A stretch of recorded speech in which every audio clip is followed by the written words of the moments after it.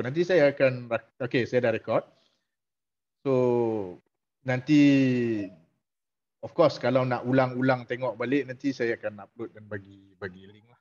Okay. Nanti Puan Wafi akan share kan. Okay. Uh, terima kasih kepada Muhammad Syamil kerana remind saya. Uh, kalau tak terlupa tadi dah panjang celoteh dah tak tak ni dah. Tak sempat dah nak nak nak, nak rakam daripada awal. Okay, uh, sekali lagi lah kena macam tu saya terangkan. Uh, Bismillahirrahmanirrahim. Uh, nama saya Ahmad Farid Zul ataupun dalam industri ni ramai orang kenal nama saya sebagai Abah Furqan lah. Uh, lebih kurang macam nickname lah. Uh, Furqan kenapa kenapa Abah Furqan sebab anak pertama saya nama dia Furqan.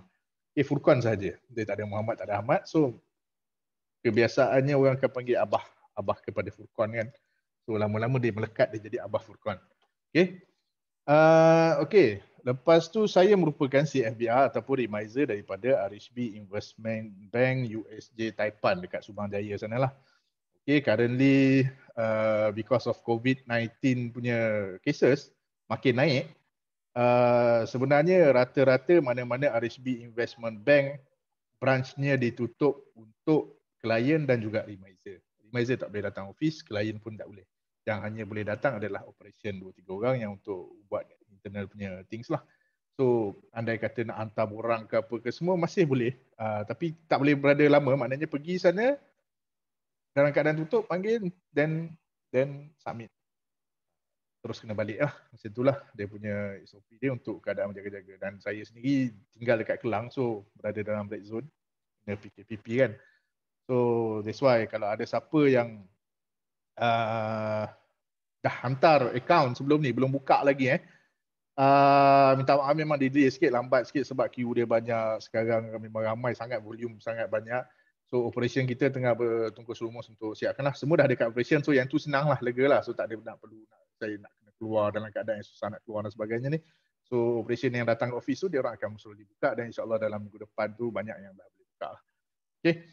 So yang yang mana rasa belum belum boleh buka lagi ha, cepat-cepat sebab kena hantar application nak tunggu masa lama lama. Tak macam dulu. Dulu terus terang saya cakap eh, dalam masa 3 ke 5 hari bekerja memang settle.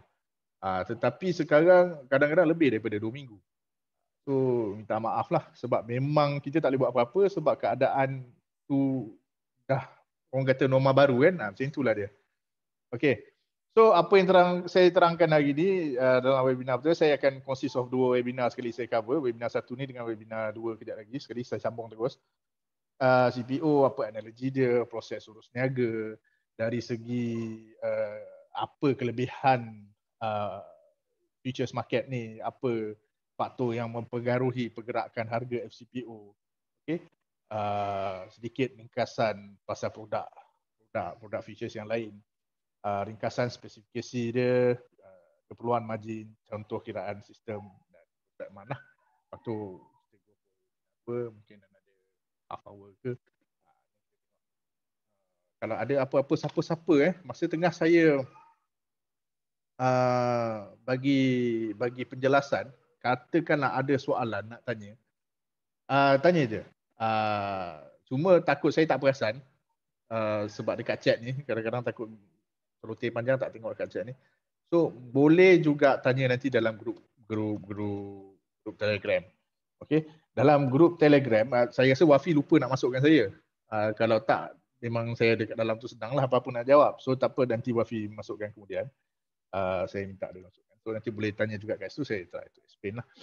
Okay. Uh, tapi boleh juga tanya dalam chat ni. Nanti saya, kalau saya nampak nanti saya, saya, saya jawab.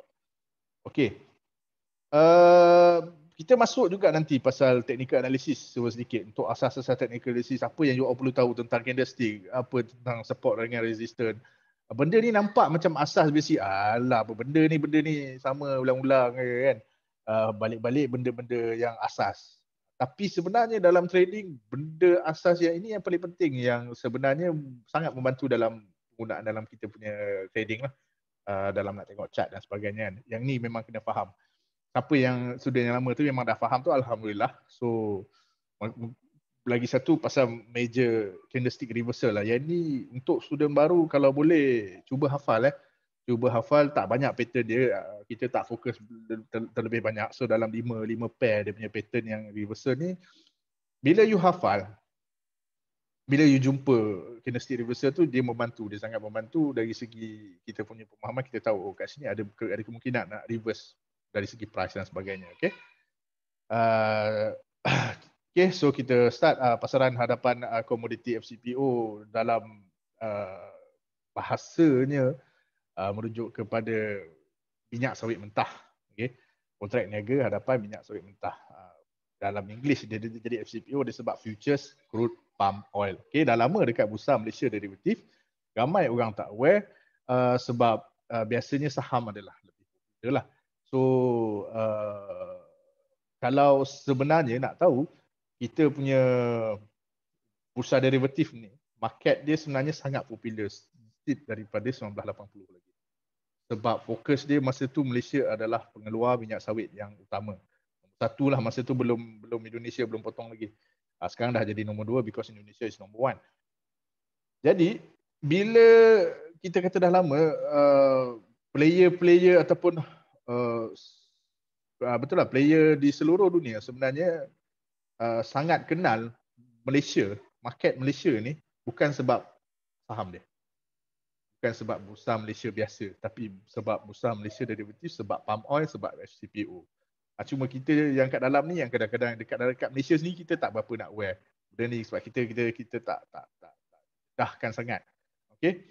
Jadi uh, niaga hadapan komoditi ni dah lebih 30 tahun dia jadi titik rujuk bagi pemain pasar pasaran dalam industri minyak dan lemak antarabangsa international eh bukan kita kata local local ni level je Ah, sangat-sangat popular lah senang nak cakap. So apa yang dikatakan kontrak ni dia merupakan perjanjian jual beli. Uh, kontrak standard commodity untuk masa yang hadapan lah. So kontrak itu sendiri merupakan perjanjian jual beli kontrak lah. Uh, okay. Kontrak ini dia ikut standard. Standard yang telah ditetapkan oleh Bursa Malaysia sendiri. Tak boleh ubah-ubah.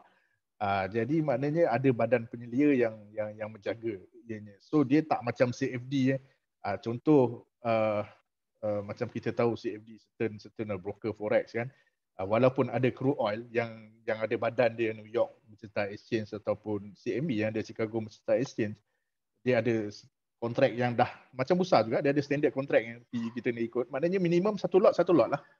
Uh, so katakan satu kontrak is to 25 ton FCPO 25 ton lah. Uh, okay, kalau crude oil tu satu lot bersamaan satu kontrak dia bersamaan dengan seribu barrel seribu barrel lah.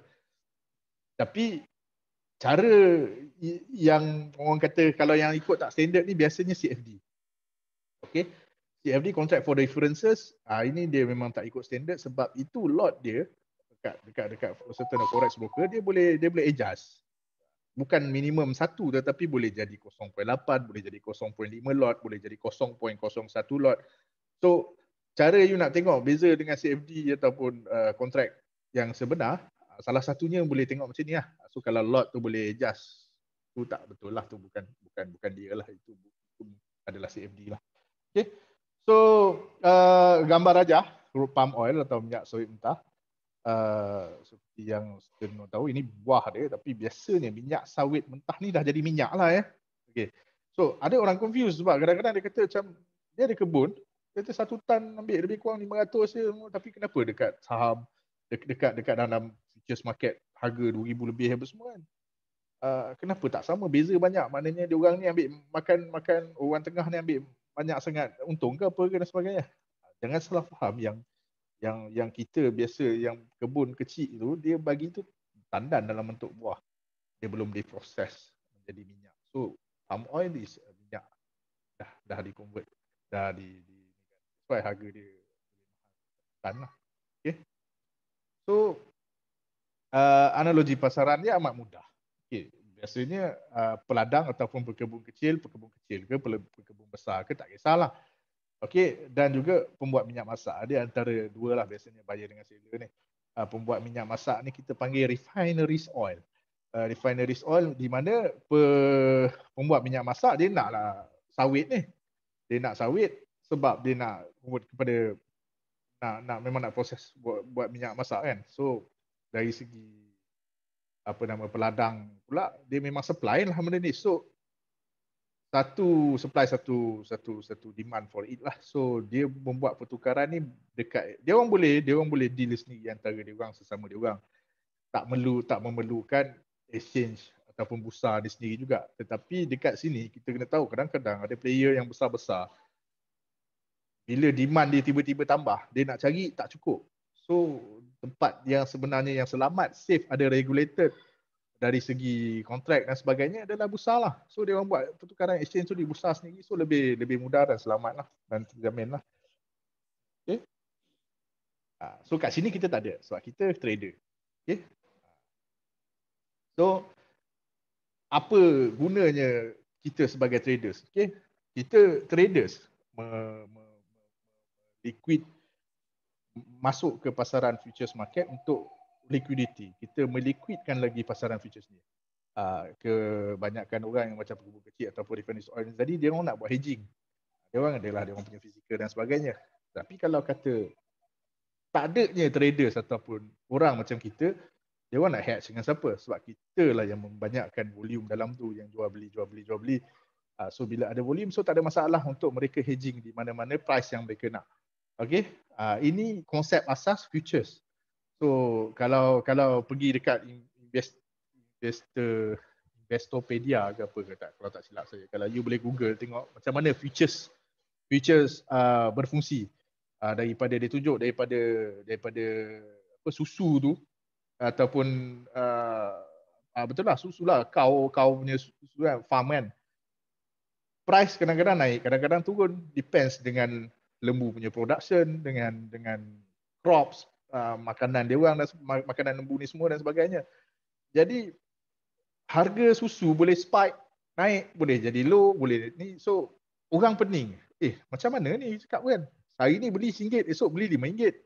So disebabkan ini sebenarnya futures market diwujudkan supaya mereka boleh hedge position mereka di dalam futures market so that price akan become normal tak ada lah terlalu spiky. Kalau naik 20 sen 30 sen tu normal lah lepas beberapa sekitar eh, beberapa seketika disebabkan inflation dan sebagainya kan?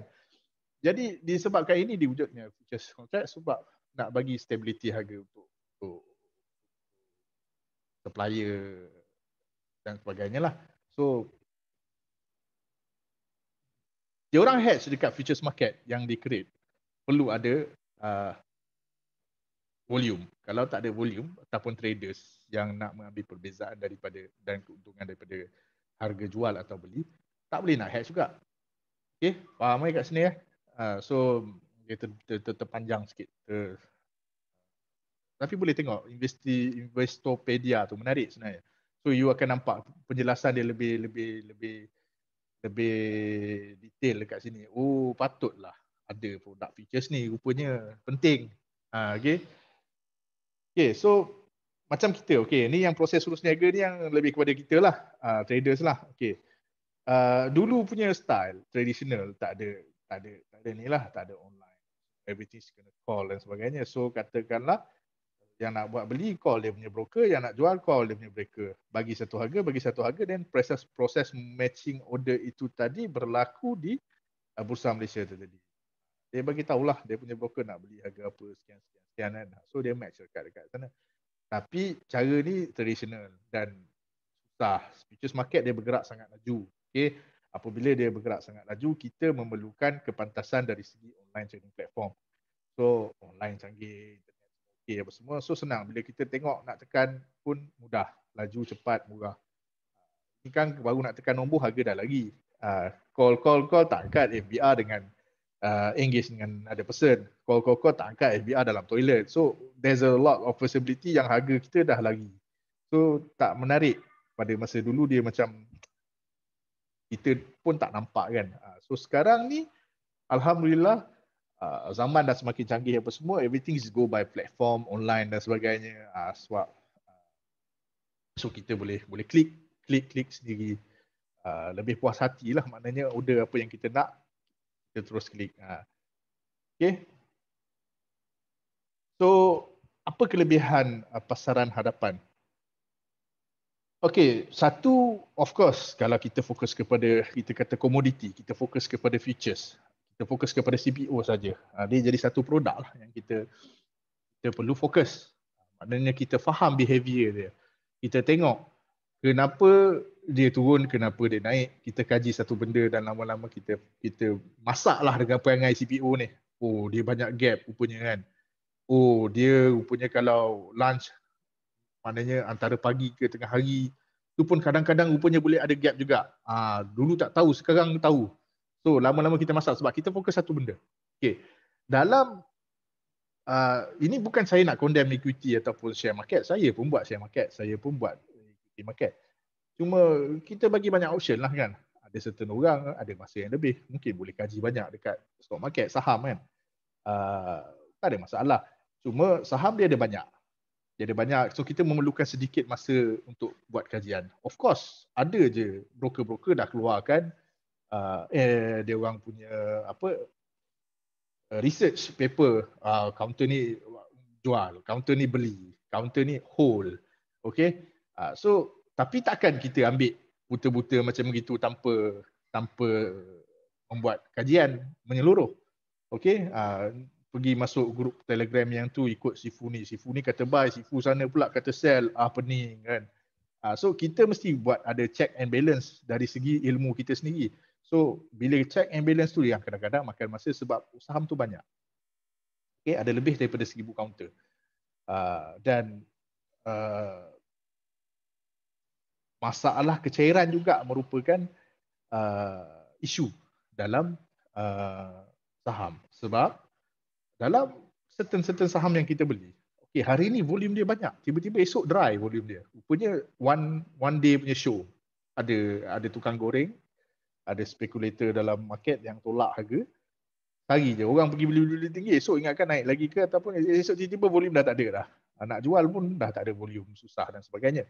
So, masalah ini tidak berlaku dan jarang sangat berlaku di di di, di just market di SCPO ni melainkan kita trade bulan yang bukan bulan ketiga.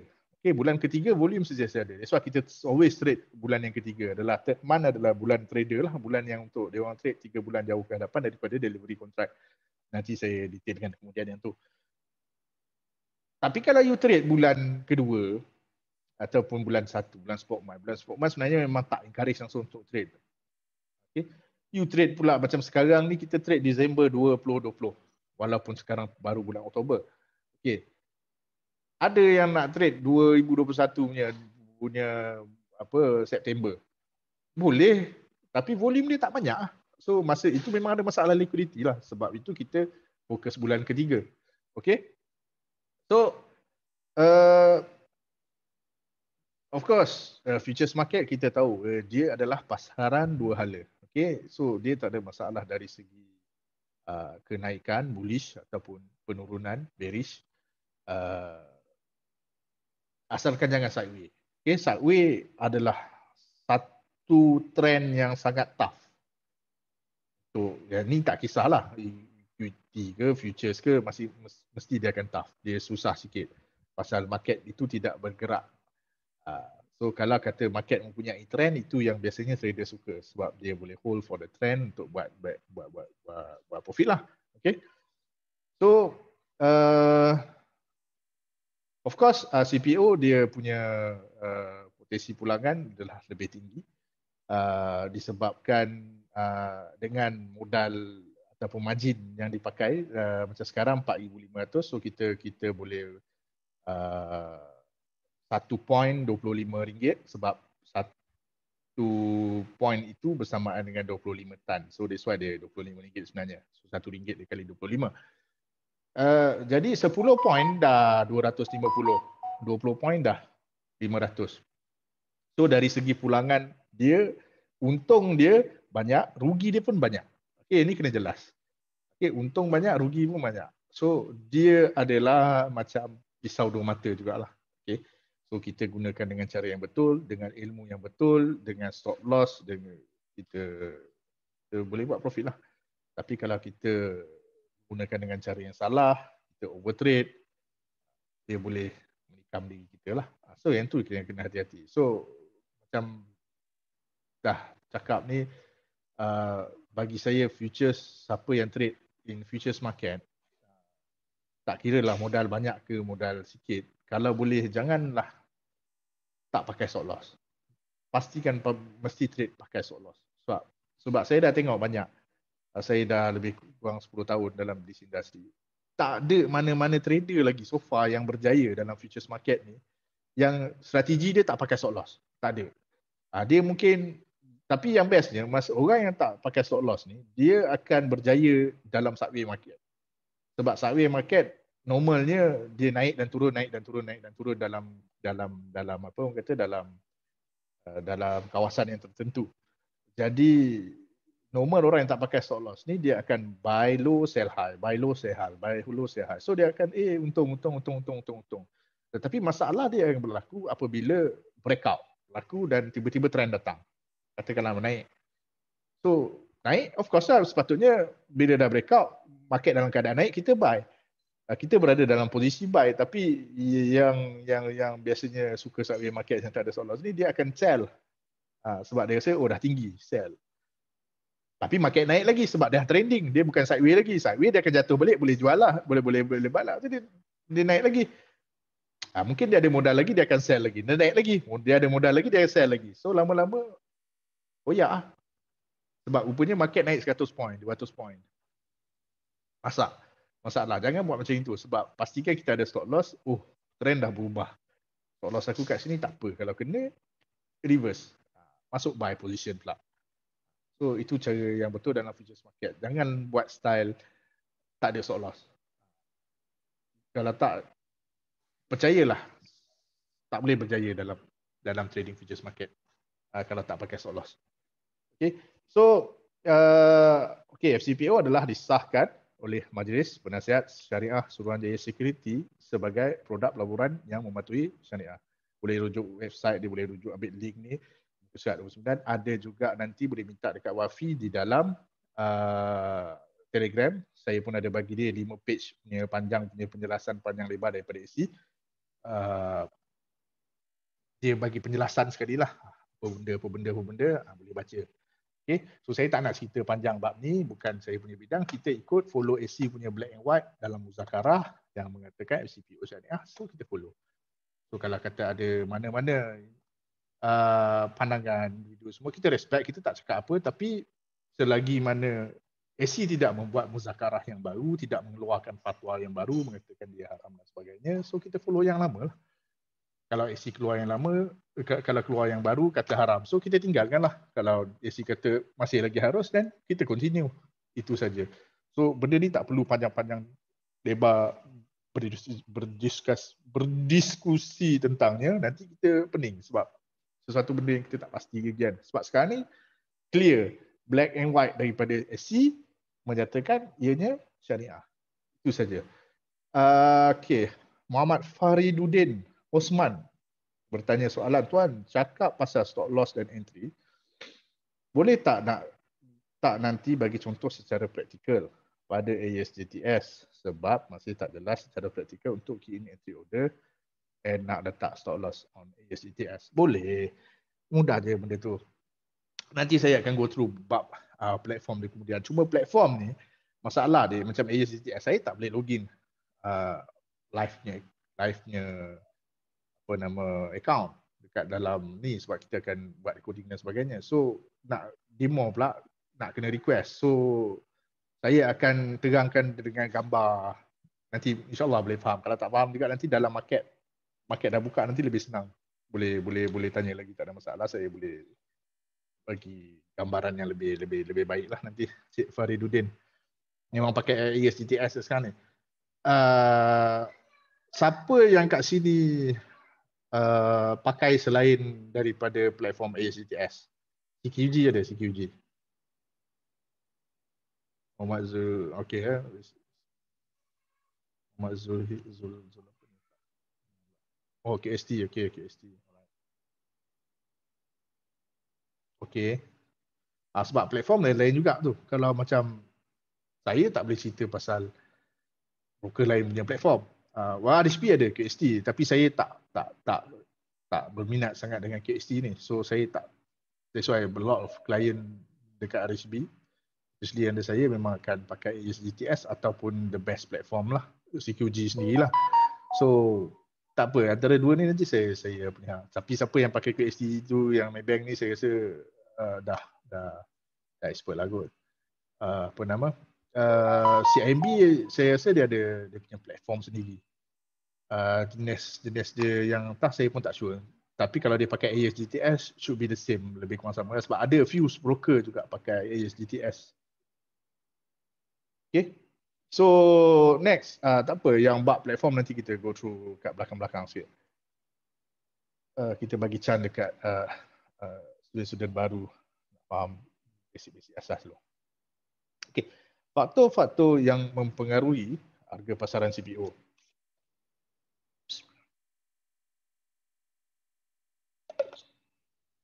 Okay, permintaan export CPO sendiri. Kita gabungkan je dengan nombor dua pengeluaran dan penawaran. Demand demand and supply.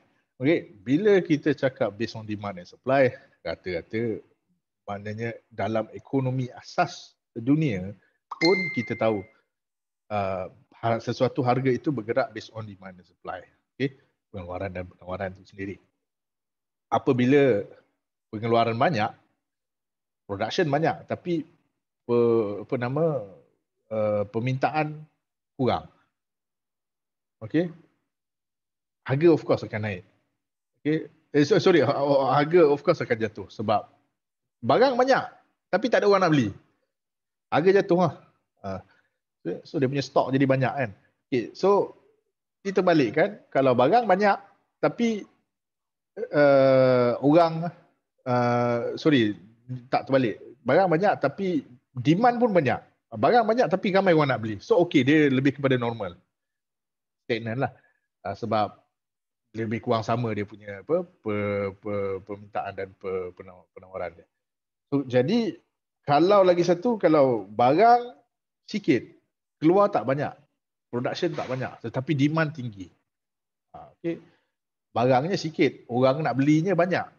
Uh, jadi of course itu menyebabkan bid, bid, bidder pembida akan membida harga yang lebih tinggi dan menyebabkan harga itu naik. Okay. This is concept of uh, ekonomi asas saja. Okay. Harga minyak mentah dunia uh, which is currently tak berapa relevan sebab minyak dunia ni sendiri sebenarnya telah jatuh merudum harga dia murah dalam 40 dolar setung sekarang ni. Uh, yang nombor tiga ni faktor ini akan menjadi sangat-sangat relevan apabila harga minyak dunia naik melebihi 100 dolar per barrel. Okay. Uh, bila harga minyak mahal, minyak dunia mahal, so orang akan go for optional biodiesel. Okay, biodiesel nak buat dia daripada minyak sawit. That's why permintaan daripada minyak sawit jika harga minyak crude oil sendiri mahal adalah tinggi. Okay. So kalau sekarang dia tidak memberikan apa efek sebab minyak tu sendiri murah. Minyak, minyak crude oil ni lah. Okay, yang keempat adalah harga minyak soya dunia. Kenapa kena mengena dengan soya? Soya ini juga adalah barang yang sama macam CPO, soya oil dia panggil. Juga kegunaan dia macam minyak masak. Okay, bukan macam minyak masak, memang minyak masak lah. Yang, yang penggunaan yang paling menyeluruh lah. Okay. So, jadi dia merupakan barang pengganti. Okay, ini ekonomi term juga. Dia kata barang pengganti uh, kalau kita ada option, kita ada dua jenis uh, option yang ada. Yang yang ini option yang terbesar lah dia ada. Dia lagi corn oil, ada apa apa ya apa sunflower tu. Oil tu pun boleh buat minyak masak. Ada ada certain certain thing ada tapi tu kecil lah tu olive oil apa semua kan. So itu premium punya produk ini kegunaan dalam industri yang besar orang kata fokus ke dua benda dua dua ni lah yang yang terbesar soya oil dengan palm oil. Okay. Jadi bila kata kita ada dua option ini, salah satu barang mempengaruhi harga salah satu barang. Okay. Sebab orang hanya mempunyai dua option. So kalau kita sebagai pengguna ataupun uh, pemilik KFC ke apa ke, kita akan jadi harga yang murah lah. Definitely we, we go for for harga yang murah sebab kita tak kisah pun dari segi apa apa, -apa biasanya orang yang meniaga besar apa chain yang besar ni macam uh, macam nak cakap ah mempunyai chain chain store apa apa dia panggil lah Nah, senang cerita kedai-kedai yang besar lah. Ha, macam macam yang yang menggunakan minyak masak ni dalam kuantiti yang besar. So dia akan ambil dia akan ambil uh, mana-mana minyak yang lebih murah. Okay, so kalau pada masa tu minyak sawit lagi murah, dia beli minyak sawit. Kalau pada masa tu soya lagi murah, dia beli soya. Ha, sebab dia nak dia nak jimatkan kos dia lah, of course lah orang meniaga kan. So mesti nak nak nak nak, nak minimizekan cost. Jadi sebab dua-dua function, dua-dua kegunaan sama je. Uh, so kenapa nak beli yang mahal? Okay, so di sini terjadinya uh, barang pengganti ini, ini di sini terjadinya efek dua-dua efek barang pengganti ini maknanya salah satu naik, salah satu mesti akan naik salah satu turun, salah satu mesti turun. Ada tend to balance each other's price dia. Okay. Uh, tetapi apa yang menyebabkan selalunya SCPO yang dipengaruhi uh, yang yang dipengaruhi oleh soya sebab ataupun reason dia FCPO trading hours hanya 5 jam sehari. 5 jam setengah sehari. Okay. Uh, 2 jam eh sorry uh, uh, 10 setengah uh, betul lah 2 jam 2 jam belah pagi 3 jam setengah belah petang okey uh, waktu kita memandang me, apa di dibezakan dengan soya soya ni trading hours dia lebih panjang okey daripada 8 pagi ada pergi sampai pukul 2 20 pagi. Dia rehat dalam sejam sejam 15 minit saja. So bila trading hours dia panjang efek dalam harga soya yang berlaku di malam hari itu akan menyebabkan gap berlaku di ah, inilah sebab punca selalu CPO gap. Uh, akan menyebabkan gap berlaku di pasaran ya di di just market lah uh, dulu kita tengok soya aja sekarang ada juga dalian okay, dalian yang mana dia orang ada trade dia orang punya peni sendiri uh, palm oil dia orang pasaran dia sendiri tu So kalau pagi-pagi tu kadang-kadang dalian buka dah banyak so kita tahu. Dah naik tinggi kan. So kita tahu kita boleh nampak kita boleh agak. Yang mana FCPO punya price mungkin akan buka dalam keadaan gap up. Dan ini selalu berlaku lah. Uh, so untuk uh, peserta-peserta baru uh, kalau kata belum cukup confident ba- baru nak apa nama uh, mengenali CPO ni kalau tak confident jangan overnight uh, tutup position day trade saja. Okay, esok sambung lagi lepas dah buka. Sebab kita takut nanti masa gap tu tadi berlaku kerugian yang besar. Of course, gap ini juga boleh menyebabkan keuntungan yang besar. Uh, tetapi orang kata uh, biar apa biar selamat uh, biar apa nama biar biar lambat-lambat tapi selamat. Uh, macam itulah. Uh, Okay, so faktor yang kelima adalah faktor cuaca. Okay, faktor cuaca ni banyaklah. Cuaca hujan lebat boleh menyebabkan banjir ataupun panas sangat boleh menyebabkan terbakar. So, ia akan efek keluaran lah. So, dia main dari segi supply dan demand juga. Kalau dia buka gap up, Cik Zul Hilmi bertanya, soalan. Kalau dia buka gap up, maknanya kita boleh expect harga untuk dalam hari itu naik ke macam mana ya tuan. Okey. Biasanya kalau dah gap up, kita tahu momentum untuk terus naik itu sepatutnya kuatlah. Okey, sebab harga itu mampu untuk gap tinggi. Okey, tetapi bukan bermakna ini merupakan tiket yang kita kata terus confirm naik. Tak juga. Kadang-kadang dia naik sikit je lepas tu dia turun balik. Ha, tengok pula apa faktor dia yang pada masa tu. Ada orang rasa macam eh walaupun dah gap tetapi ni harga ni dah terlalu tinggi. Nak masuk sell pula. Ha, so yang tu kena tengok kena tengok uh, technical balik. Ha, kena, kena kena kena kaji juga sebab dia tidak semestinya. Ha, walaupun uh, sebab tu kata-kata kadang kita tengok gap ada juga orang kata oh, bila dah gap oh tak apa nanti dia turun balik dia tutup gap. Ya yeah, ada ada masa sometimes dia tutup balik gap dia turun balik. Ada masa dia continue dia naik lagi. Esoknya gap up lagi.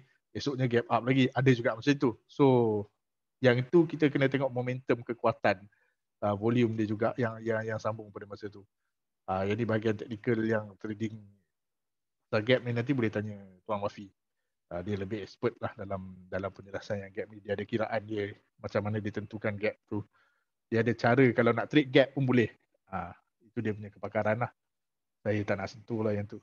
Tapi uh, dia bukan bukan merupakan bukan pastilah maksudnya. Okay, yang keenam uh, faktor currency nilai ringgit Malaysia. Okay, kalau kita tahu uh, ringgit ni uh, dia ada turun naik. Okay, CPO ni yang beli kebanyakan negara luar. Maknanya dia import CPO daripada Malaysia. So jadi bila ringgit kita jatuh, dia dapat beli CPO dengan harga yang murah. Jadi bila ringgit kita naik, dia kena beli CPO dengan harga yang mahal sikit lah. Sebab ringgit kita kuat. So of course kalau kata nilai ringgit kita jatuh, demand mesti jadi lagi banyak lah sebab lagi murah. So nilai ringgit kita naik, demand akan jadi kurang lah sebab ringgit kita mahal. Ha, itu je dia punya konsep. Okay.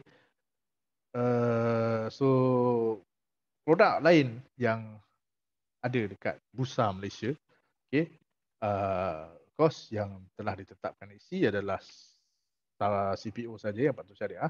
FGLD memang tak patuh pasal dia sendiri emas. Emas adalah salah satu ribawi item yang mana kita tak boleh trade futures. Dan lagi satu, emas ini sendiri tidak mempunyai fizikal. FKLI of course pun tak patut syariah disebabkan index komposit dia yang 30 itu merangkumi beberapa counter-counter yang tidak patut syariah. Okay. F-tin uh, pasaran tin yang yang agak baru juga lagi lah dilancarkan beberapa tahun yang lepas tapi tidak mendapat sambutan. Uh, tin ni apa ya? Timah. Ah, timah ke? Itulah timah lah tapi dia tak mendapat sambutan dan dia juga dia juga tidak mempunyai physical delivery jadi uh, dia tak patut syariah lah. So antara produk pasaran hadapan yang lain okay, antara masa lah this is international level lah kononnya kan. So yang mungkin ada belah pagi busy tak boleh trade CPU ke apa ke sebenarnya ada pasaran yang belah malam untuk di trade. Pagi pun buka juga eh, ni counter-counter ni uh, komoditi-komoditi ni. Okay yang foreign futures ni antara mangsa ni kita ada uh, exchange dia sendiri lah so dia bukan CFD so dia adalah pasaran yang New York Mercantile Exchange Chicago Board of Trade Chicago Mercantile Exchange. Ada juga soybean oil, crude oil, copper, natural gas, corn, platinum yang ada orang trade lah.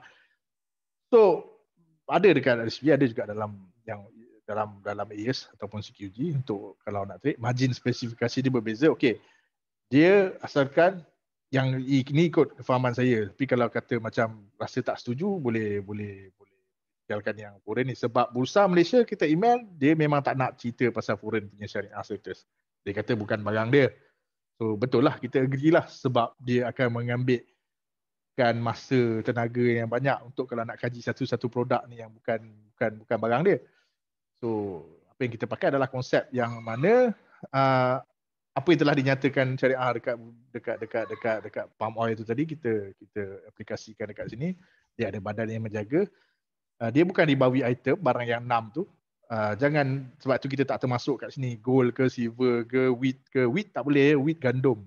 Uh, dia terdiri daripada enam dibawi item tu. Uh, garam kurma uh, apa benda ya satu lagi? Uh, sekejap. Gold silver garam, kurma, gandum, Bali. Ah dengan Bali. Ah yang ni tak boleh komprom tak there's, tak tak boleh kompromi lah because because ada hadis sekat enam ni memang tak boleh. So tak payah nak pusing kat mana pun memang tak boleh lah. Ah so yang ada delivery juga seperti CPO dia bukan cash settlement sebab kalau kita tahu crude oil juga ada ada yang mini crude oil. Mini crude oil itu tidak mempunyai physical. Yang tu cash settlement. So kena tengok balik spesifikasi dia. Okay, so disebabkan foreign futures ini tidak mendapat status daripada bursa sebab bukan produk dia daripada sorry daripada SC sebab bukan produk dia. So uh, yang ni kita serahkan balik kepada tuan-tuan lah kalau rasa nak, nak trade. Uh, rasa yakin boleh. Kalau tak tak payah. Fokus je pada CPU yang memang lebih jelas. Okay, uh, so saya share saja. Sebab ada juga yang klien saya yang memang memang trade lah dia yakin dari segi apa ni dari segi uh,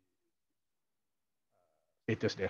Okay, so ringkasan spesifikasi FCPO uh, minyak sawit mentah fizikal satu tik ataupun satu point ataupun satu mata sama je dia bersamaan dengan RM25. Kenapa RM25? Sebab kontrak dia adalah 25 tan. Dia kalikan je dengan 25 tan tu. So dia jadi dah RM25. Sebab harga yang kita tengok bergerak tu 22,800 ke 2,801 itu adalah ringgit sebenarnya. So 2,800 ke 2,801 adalah perbezaan dari segi satu ringgit. Ah, tapi kenapa poin dia jadi satu ringgit, 25 ringgit? Sebab dia kali dengan 25 tan. Sekejap saya minum sikit. Saya ni kalau cakap banyak dia dia kena minum selalu, tidak tekak kering.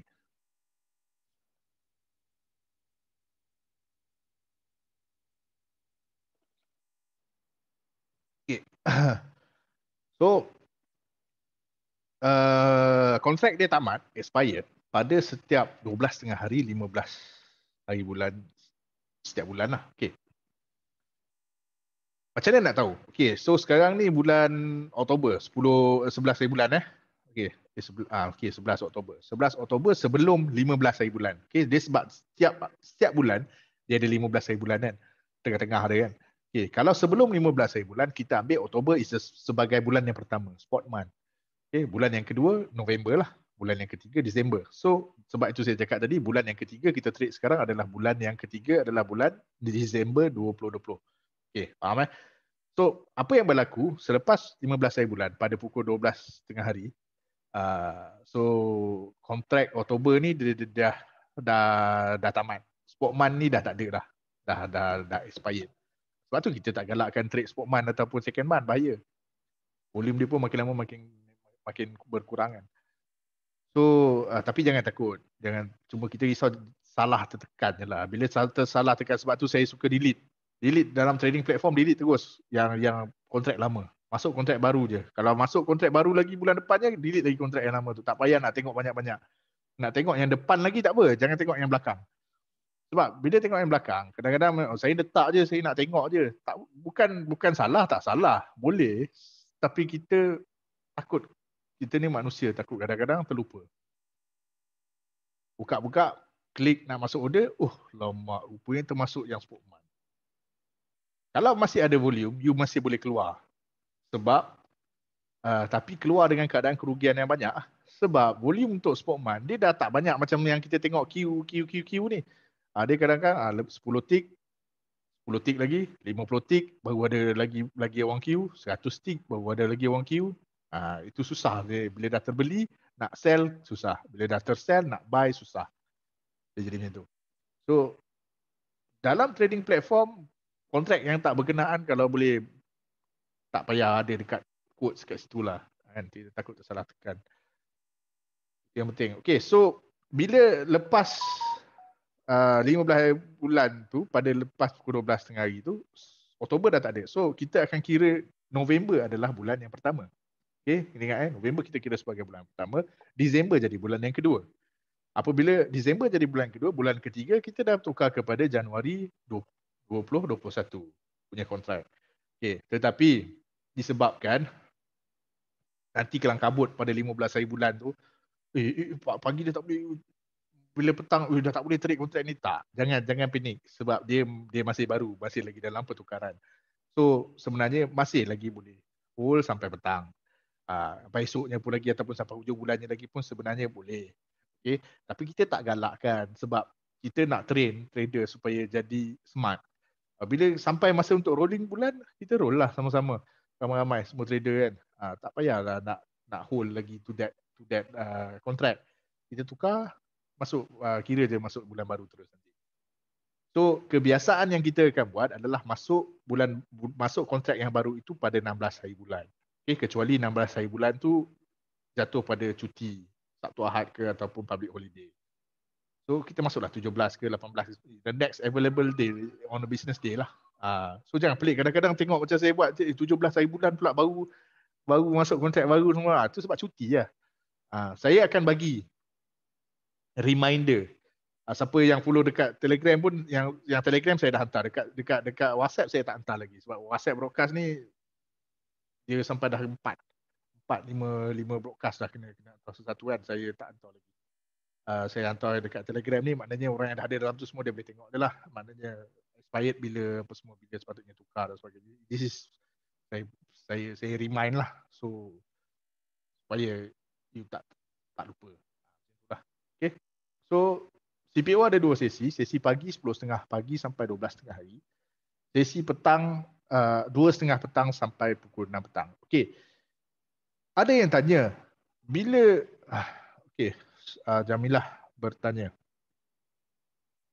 So kalau macam sekarang, kita trade bulan 12, 20, oh bulan 1, 21. Sekarang kita trade 12, 20 lagi sebab sekarang belum 15 hari bulan lagi. Oktober sendiri masih dikira sebagai spot month sebab Oktober belum expired. Oktober akan expired pada 15 hari bulan ni. Ha, so 16 hari bulan nanti baru kita tukar bulan Januari 2021. Tapi sebenarnya kalau kata nak trade dah dekat-dekat nak sampai tukar ni kan. Oh saya ni jenis swing lah, tak sukalah day trade. Saya nak pegang mungkin seminggu dua minggu. Terus masuk bulan Januari je lah. Ha, tak payahlah masuk bulan uh, Disember lagi. So kita dah tahu macam uh, saya nak tapi sebenarnya to be honest jarang pun ada orang hold CPO ni untuk jangka masa yang lama. Uh, paling lama pun saya rasa seminggu lah. Lebih lama daripada tu sebenarnya dia hold rugi je. Dia tak ada stop loss. Uh, sebab tu lama dia pegang. Sebab kalau kata ada untung mesti kita dah kata tangan nak tutup. Uh, this is emotion emotion manusia. So tak payah tipu diri sendiri lah. Saya tak cakap saya tak cakap siapa-siapa dalam ni eh. Uh, saya cakap diri saya. so saya sendiri pun kadang-kadang ada banyak banyak banyak emosi juga, uh, banyak kacau bilau juga dalam trading sama je. Kita manusia biasa. So kalau macam sekarang kita kena trade uh, okay, sekejap 16 10 nanti baru ke bulan 1 Yes, betul. Betul Jamila. Maman tu dah betul lah. So kita make it simple ambil je 16 hari bulan. Hari bulan kita tukar satu uh, Januari 2021. Okay. So ada yang tanya saya, bila bila saya kena saya boleh nak masuk order? Okay, macam kita tahu kalau kita nak pakai market order, of course kita kena tunggu market 10.30 tu buka lah. Kita tak boleh ambil pre-open. Okay, pre-open ni dia antara pukul 10 hingga 10.30 pagi. Lepas tu pukul 2 sampai 2.30 petang. Pre-open bermakna market tu tak buka lagi. Dia boleh queue saja. Kalau untuk queue limit order, queue stop loss boleh. Uh, tapi untuk market market ni order queue tak boleh lah pasal market dia kena dia kena market tu dah buka dulu baru dia boleh. So kadang-kadang dia reject. So yang ni kena faham. Sebab ada yang buat mistake ni so saya saya inform lah. Okay. Uh, untuk untuk untuk order type juga kena tahu siapa yang pakai GTC. GTC ni good till date ni order. Nanti kita akan go through the the order order punya uh, apa nama order type punya differences apa semua lah. So saya saya saya saya ambil sikit. GTC ni good till cancel. Good till cancel ni bila kita key in order itu, order itu tidak akan expired selagi mana order itu kena match ataupun kita cancel sendiri. So katakanlah hari ni market dah tutup. Order tu esok dia ada lagi. Dia masih kekal sebab dia GTC, good till cancel. So kena ingat lah. Jangan lupa pula. Tiba-tiba macam biar je kan. Tiba-tiba order tu match 3-4 hari kemudian lupa. Order tu match ada position. Katakanlah senarai position dah tutup. Lupa nak cancel tu. Ha, jangan. Sebab nak pakai GTC pastikan recheck selalu kita punya working order. So dia ni of course kadang-kadang bila kita bila kita buat silly mistake kita terlupa ada working order dan sebagainya dia boleh jadi of course sebab dia goes two ways kan. Dia dia dia dia hanya boleh rugi dan untung. Kalau untung okey lah alhamdulillah. Tapi kalau rugi macam mana? Tu yang kena berhati-hati dalam order. Tu nanti kita go through lagi. Uh, kalau kalau kita tak pakai GTC tadi kita pakai day order saja of course kalau tak match dia akan auto cancel lah. Selepas market tutup. So esoknya order tu dah tak ada of course kita kena key in balik lah. Kalau ada position tapi stop loss kita dah tercancel sebab tak pakai GTC. So kena key in stop loss baru lah. Itu lah. Jangan pula kita ingat macam eh stop loss yang semalam tu dah hilang. Ah, so order sebab tu kena faham. Sebab tu kita kena belajar. Uh, kalau tak nanti order type tak faham. Jangan terkejut sebenarnya ada je orang-orang yang dah lama trade 5 6 tahun 10 tahun pun sebenarnya order masih lagi tak faham. Order type masih lagi blur.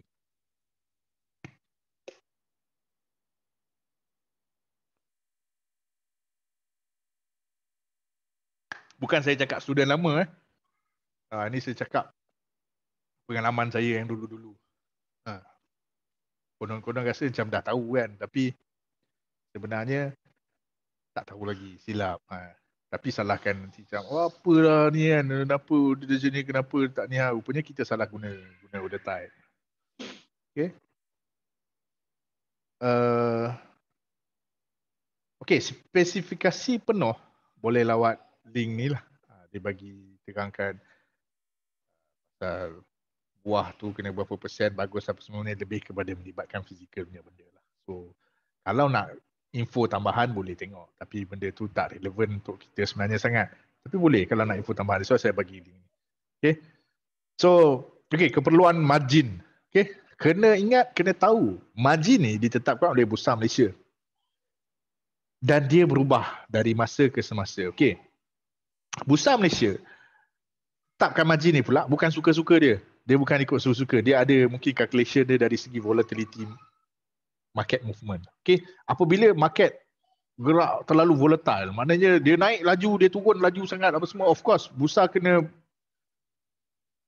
kena naikkan sikit margin supaya orang mempunyai kuasa kuasa yang apa yang cukup untuk untuk menampung daripada segi volatility ni. Ha. Okay. Tapi kalau market slow, sideways, kurang sangat bergerak, steady je orang kata kan.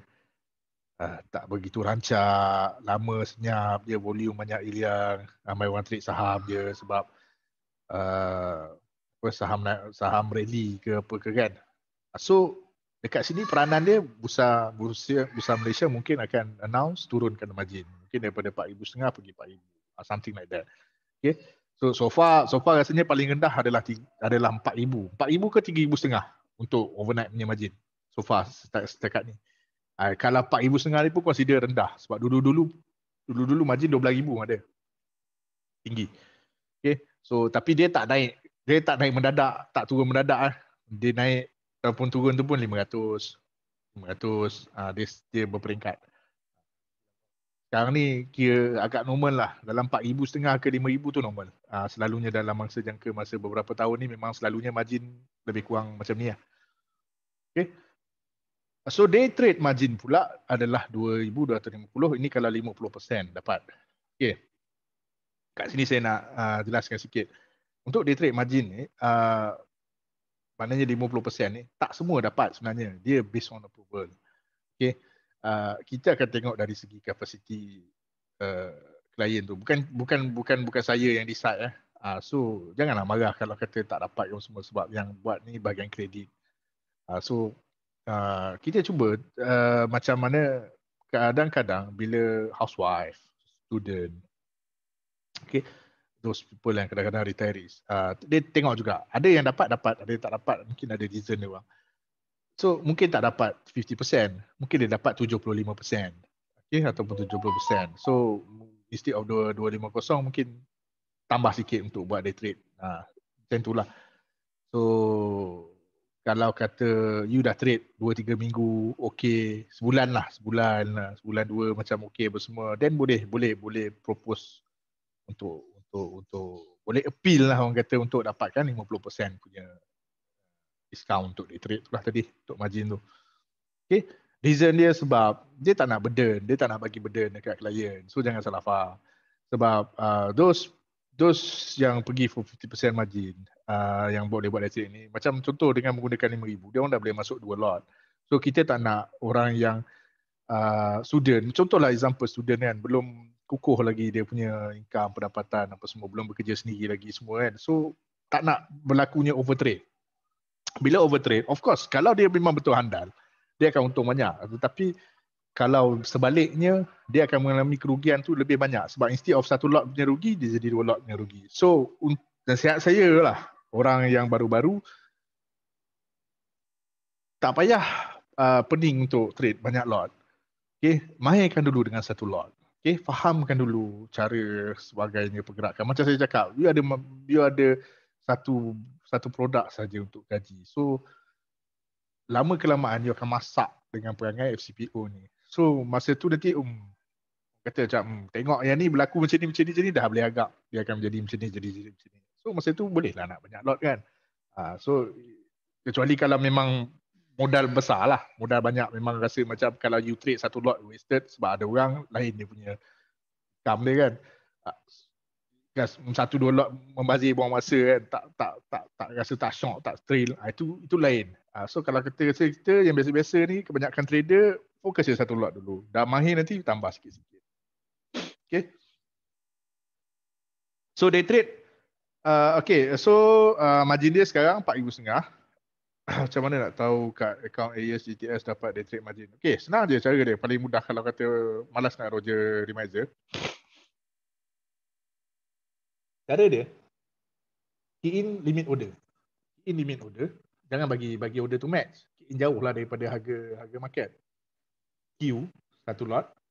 Tengok initial margin yang digunakan tu berapa. Kalau 2250 maknanya you, you dapat lah 50% tu. Kalau dia tulis kat situ initial margin 4500 maknanya tak tak dapat langsung lah dia trade margin ataupun account baru buka. Account baru buka tak dapat approval lagi. Boleh, boleh check balik lah. Itulah Okay. So harap memberi penjelasan kepada Cik Anis Suhaimi. Okay, so faham. So kalau sekarang 4,500, so kita ambil, kita buat contoh sikit lah Makcik Kiah ni. Uh, dia dia dia letak modal dia, modal pelaburan dia. Margin ni sebenarnya macam modal lah. Modal kita untuk trade lah. So, dia letak 8,000. Dia deposit 8,000.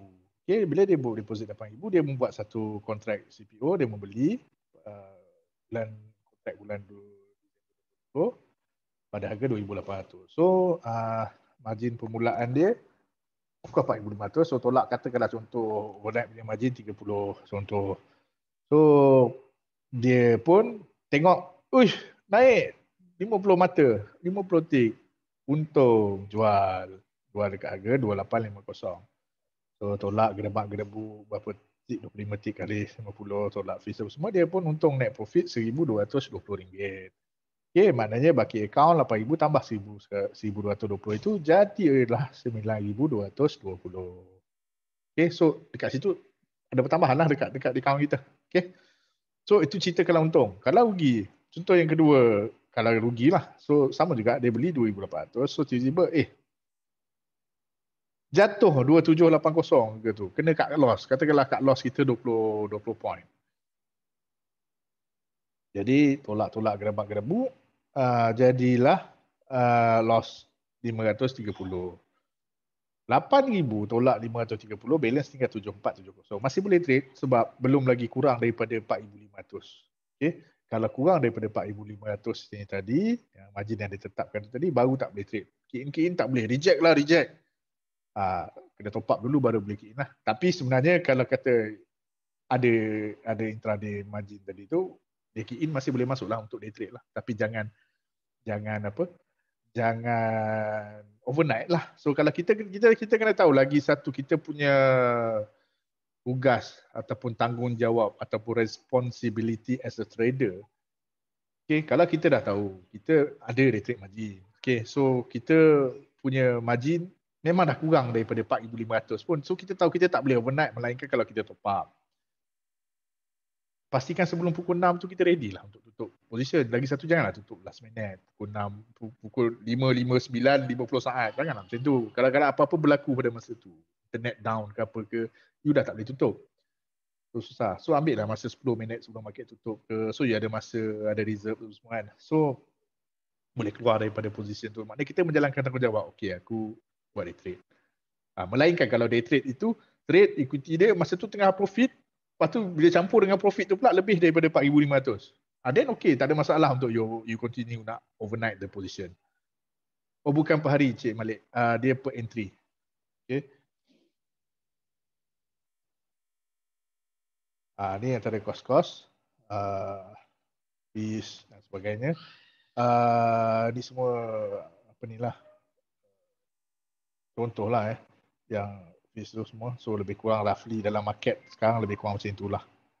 So uh, yang ni bukan ah tu sebab dalam kurungan dah beli dan jual. Lagi satu Persian chart eh. Persian chart saya nak terangkan sikit pasal bursa station. Dulu ramai orang pakai bursa station. Sekarang saya tak tahu masih ada lagi ke tak. Uh, so sebab sekarang dah ada banyak juga option which is trading view juga. So boleh explore ikut ikut ikut uh, keperluan, ikut ikut diri sendiri rasa mana yang lebih sesuai. Uh, cuma Bursa Station kalau tak silap saya dia tak ada komoditi foreign. Kalau trading view dia ada sekali. Uh, cuma delay lah. Yang kalau yang data foreign dia pun dah tak mahal sekarang. Uh, dulu uh, over 100 dolar lah. Lebih kurang 120 dolar, 140 dolar untuk satu satu bulan. Untuk satu satu data feed live foreign punya data. Sekarang USD 2 je. USD 2, USD 4. So dah murah dah sebenarnya. Uh, tak tahulah apa diskaun ke apa ke. Memang data feed untuk foreign sendiri pun sendiri dah mula dah dah dah murah. So those yang people yang tak pakai CQG sebenarnya yang suka pakai trading view untuk trading tetapi nak key in dekat ASGTS pun sebenarnya tak ada masalah. Sebab is subscribe je lah dekat dekat trading view yang lagi murah. Kenapa nak bayar link CQG tu walaupun RM50 tetapi data feed tu lebih murah daripada RM50 walaupun USD 2 USD 4 kan so buat pilihan yang bijak. Okay. Calculate you punya cost semua. Uh, sistem apa semua kan. Uh, so, tapi benda-benda ni tengoklah. Ada orang tak tak tak tak nak yang terbaik kan. Tak kisah. Uh, macam, macam saya sendiri. Saya suka pakai CGG. Uh, sebab CGG ni bagi saya yang, terbaik lah so far. Uh, cuma CGG ni platform dia mahal. Fees dia dari Brando mahal. So that's why uh, dia ada cas bulanan dan sebagainya lah ah, kan so ada orang suka pakai multi-wave macam si Fuafi okay si Fuafi pakai e-signal juga dulu ha, ini platform-platform yang mahal lah ha, yang ibu-ibu sebulan dia punya fees sewa dia tapi jangan jangan jangan panik. Tak perlu pun nak kena pakai itu. Ha, tak yang yang canggih sangat. Yang biasa yang sedia ada yang free pun okey sebenarnya. Boleh je untuk untuk untuk trading tak ada masalah. Nak upgrade sikit pakai trading view. Pakai bursa session. Ha, terpulang okay so of course kos-kos yang lain adalah masa kita buat analisa order and so masa untuk analisa ni nampak macam macam macam sikit macam macam enteng lah senang sikit cerita kan. Tapi for those yang sudah lama dia tahulah macam mana susahnya dulu nak buat analisa.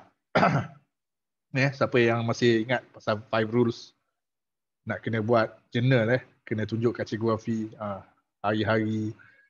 Bukan satu benda yang mudah lah kan nak nak buat. Kadang-kadang orang yang bekerja ada pula family susah nak buat nak nak nak buat journal tu kadang-kadang kan so tapi itulah dia ilmu kan pelajaran yang kita kena ambil untuk me, me, memantapkan lagi diri kita lah sendiri kan untuk kebaikan diri sendiri juga kan okay so Ya, tapi sekarang rasanya macam dah tak kena dah kan. Rasanya yang baru saya pun tak pasti. Kalau kena, ah, tak apa. Buat je. Bagus. Benda tu bagus. Okay. Kalau tak kena, okey lah. Lega lah sikit kan. tapi at least bila you ada journal, you boleh refer balik. Mistake. Silap kat mana sebelum ni kalau buat apa semua. So ada salah dan silap apa semua tu. Ada cross check dan sebagainya. So benda tu bagus. Okay. So uh, penting eh. Uh, SCPO gunakan bulan yang ketiga. Ha, ini macam yang dia elakkan kontrak bulan pertama. Jika ada position uh, tidak ditutup sehingga kontrak expiry, ha, ini physical delivery lah. Tapi tak sampailah ke tahap tu kita akan aware untuk tutup position lah. Biasanya kalau yang mana hold, hold, hold position tu lama tak degil tak nak tutup tu kita sampai ada sampai tahap untuk pause kan lah. Uh, kecuali kalau company lah. Ini memang biasanya dia orang memang nak physical. So uh, macam saya cakap tadi keluarkan kontrak bulan pertama dalam trading system bagi mengelakkan salah tekan. Okay, kalau tak pasti mana-mana kontrak bulan berapa nak trade ni semua tanya anda dia mesti tahulah. Okay. So uh, next cara paling mudah kalau nak tengok kontrak apa sekarang nak trade bulan ketiga ni bulan berapa uh, susah nak kira dan sebagainya masuk je website Bursa Malaysia ada link kat sini Oh ya, yeah, nanti ingatkan saya bagi bagi link apa nama? Bagi slide untuk untuk webinar ni. Nanti saya saya sharekan. Uh, okay, so Encik Fariduddin Osman bertanya, profit SCPO taxable atau ada SST? Okay. Uh, dalam, uh, okay, ya yeah, betul ada SST uh, yang saya tak mention dalam fees tadi tu. Sebab tadi tak ada GST, lepas tu ada GST jap, lepas tu ada SST boleh. Okay, tapi SST dia sangat-sangat small lah dalam macam kalau tu ringgit tadi dalam 90 sen ke 96 sen macam itulah. Dia 6% daripada daripada kos tu yang telah ditolak levy. So taxable ni is uh, macam nak cakap ah kalau you ini yang saya faham lah eh kalau you uh, seorang full time trader yes it's taxable untuk you lah. Sebab memang you buat ni sebagai full time. Itulah kerja you. Itulah income dan pendapatan source of income you. Tapi kalau kata you part time you ada kerja lain tetapi buat ni sebagai sambilan sepatutnya tak ada masalah. Ha, itu yang kita faham. Sebab benda ni macam lagi berada dalam area lagi. Eh, tapi apa pun simpan statement bulanan. So katakanlah untung banyak, untung ratus ribu ke, tiba-tiba duit banyak, ada orang query ke dan sebagainya, tunjuk statement. Ha, itu je lah. Tapi pastikan jangan full time lah. Ha, kalau full time, kemungkinan you kena declare lah you punya income tu. Kalau part time ada kerja sendiri sekarang kerja benda lain cikgu ke apa ke tak ada masalah dia menjadi pendapatan pendapatan sambilan dia sebab macam kita tahu saham sendiri pun is non taxable benda-benda yang ber, sebab nak promotekan market kita ni sendiri that's why dia buat macam tu okay so dia pergi ke bahagian atas ni tengok Disember 2020 mak eh tarikh today's update 9 Oktober ni ambil hari Jumaat tu lagi so tengok yang atas ni Disember 2020 maknanya inilah yang bulan yang Ah dia that's why dia tak tulis bulan Januari. Eh sorry bulan Januari pula bulan Oktober walaupun sekarang tarikh 9 Oktober kat sini. Okey, nampak eh. Dia masih tunjuk uh, Disember. Uh, dia, dia terus tunjuk Disember. Uh, lepas Disember yang next month tu lah Januari. Okey. Okey, term asas uh, ini nanti kita kita share sikit nanti kita sambung sambung dekat yang Uh, okay, sekejap eh. Take, take five sekejap eh. Sekejap lagi saya datang balik.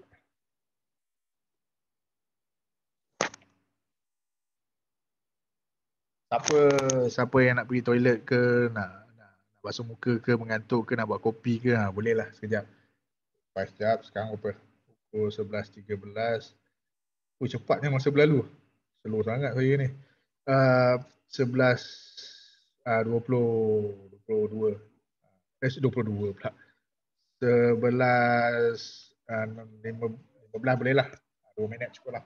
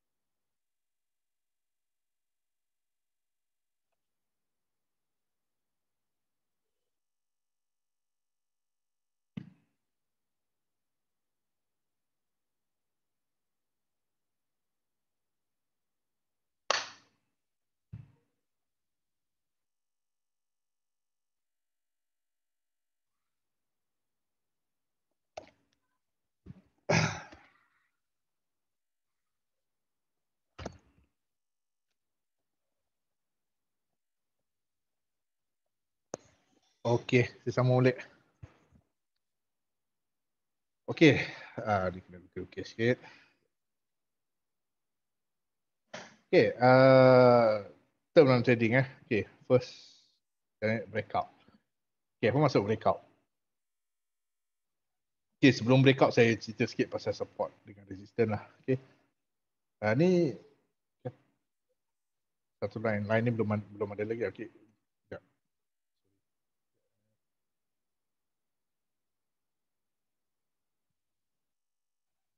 Okey, katakanlah price tu dia naik dia turun. Naik dekat level sama dia turun lagi dekat level yang lebih kurang sama.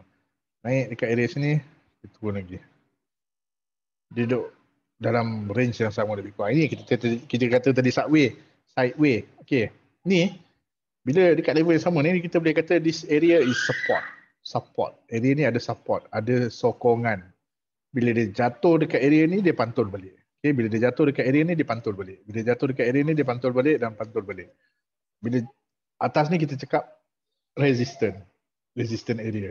Okay, resistant area bila dia kena je kat atas ni, dia jatuh balik dia jatuh balik, dia jatuh balik. Okay. Area ni support, ni resistant. Okay. Dia lindong, lindong, lindong, sampailah dia men, dia berlawan lah dalam ni.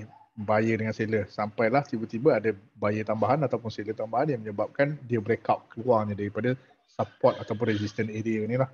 Daripada area sideway ni. So katakanlah dia tolak push boom. Okay. Naiklah harga tu. Ini yang kita panggil breakout. Okay, ni breakout. Dia break. Okay. So katakanlah tak semestinya dalam support dengan resistance saja, katakanlah price dalam keadaan menaik. Okay, tiba-tiba dia, dia dia pecah daripada resistance trend line.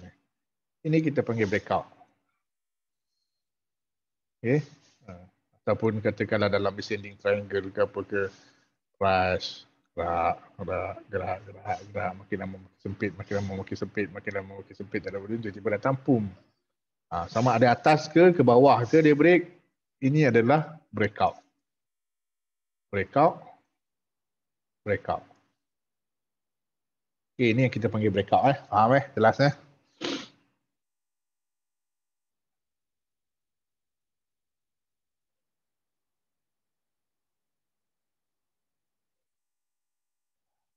Okay. Uh, retracement ataupun pullback. Price dalam keadaan menaik. Tapi dia naik ni, dia tak boleh naik dia macam itu. Dia mesti ada pullback ataupun retracement. Okay, naik, pullback, retracement. Naik, pullback, retracement. Walaupun dia dalam keadaan uptrend, dia mesti ada pullback ataupun retracement. Ha, ini yang kita panggil pullback ataupun retracement. Dia jatuh sekejap. Okay, kalau dalam keadaan menurun pun sama. Dia tak boleh turun straight, turun saja. Dia akan ada pullback ataupun retracement. Dia akan ada pullback ataupun retracement. Dia punya wave dia. Okay, dia, dia turun tu dia mesti ada rehat dia. Okay.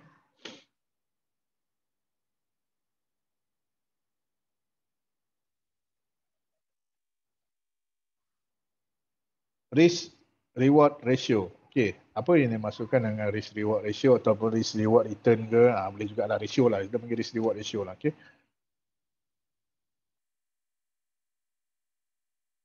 Okay, satu, dua. Risk, return. RR lah, ratio. RRR lah, panggil. So, kalau kita merisikokan satu ringgit, pastikan minimum kita dapat untuk untuk kita dapatkan RM2. Baru berbaloi. Kalau kita letak risiko dua, kita nak dapat RM1, kita riskkan RM2 duit kita. Ini tak betul. Ha, ini maksudnya stop loss uh, lagi besar daripada return. Sebab tu orang yang tak ada stop loss susah. Pasal dia risk ni unlimited. Tak ada stop loss, tak ada soalan so risk dia unlimited ha, tapi dia nak mendapatkan mungkin 10 point je of course memanglah memang dia, dia cakap oh, saya tak apa saya monitor Saya monitor tengok depan PC kalau sampai stop loss saya kena tutup sendiri secara manual. Tak letak stop loss. Okay lah tak apalah fine. Betul-betul kalau you disiplin macam tu tak ada masalah. You dan you memang tengok. Tapi selalunya cakap mulut sahaja tetapi bila sampai pada waktunya jam. Lepas tu dia turun dia, dia, dia makin besar loss. Lagi jam. Makin besar loss, lagi berat nak stop loss. Ah itu yang terjadinya permasalahan nombor satu dalam trading. Ha, so jaga-jaga. So ini return pastikan lebih besar daripada reward. Eh sorry, uh, return lagi besar daripada risk. So ni kalau dua ni jadi tiga ke, empat ke, lima ke, sepuluh ke lagi baik lah. Ha, tapi janganlah sampai tak munasabah. Risk satu, aku nak swing. Tapi aku punya return nak seratus. Boleh, tak ada masalah. Masih boleh tapi susah lah orang kata kan. Ha, so dia macam agak impossible. Tiba-tiba takkanlah stop loss kita 10 point tapi kita nak 1000 nak 100 point. Eh sorry, 10 uh, point tapi kita nak 1000 point. Macam itulah maksud dia. Okay. So faham eh. So long of course buy lah. Short to sell lah. Okay. Dia punya terminologi dalam dalam dalam futures punya dalam futures punya industri macam tu lah. Yeah, ni uh, akhir-akhir webinar nanti kita sambung balik pasal term, term trading lah.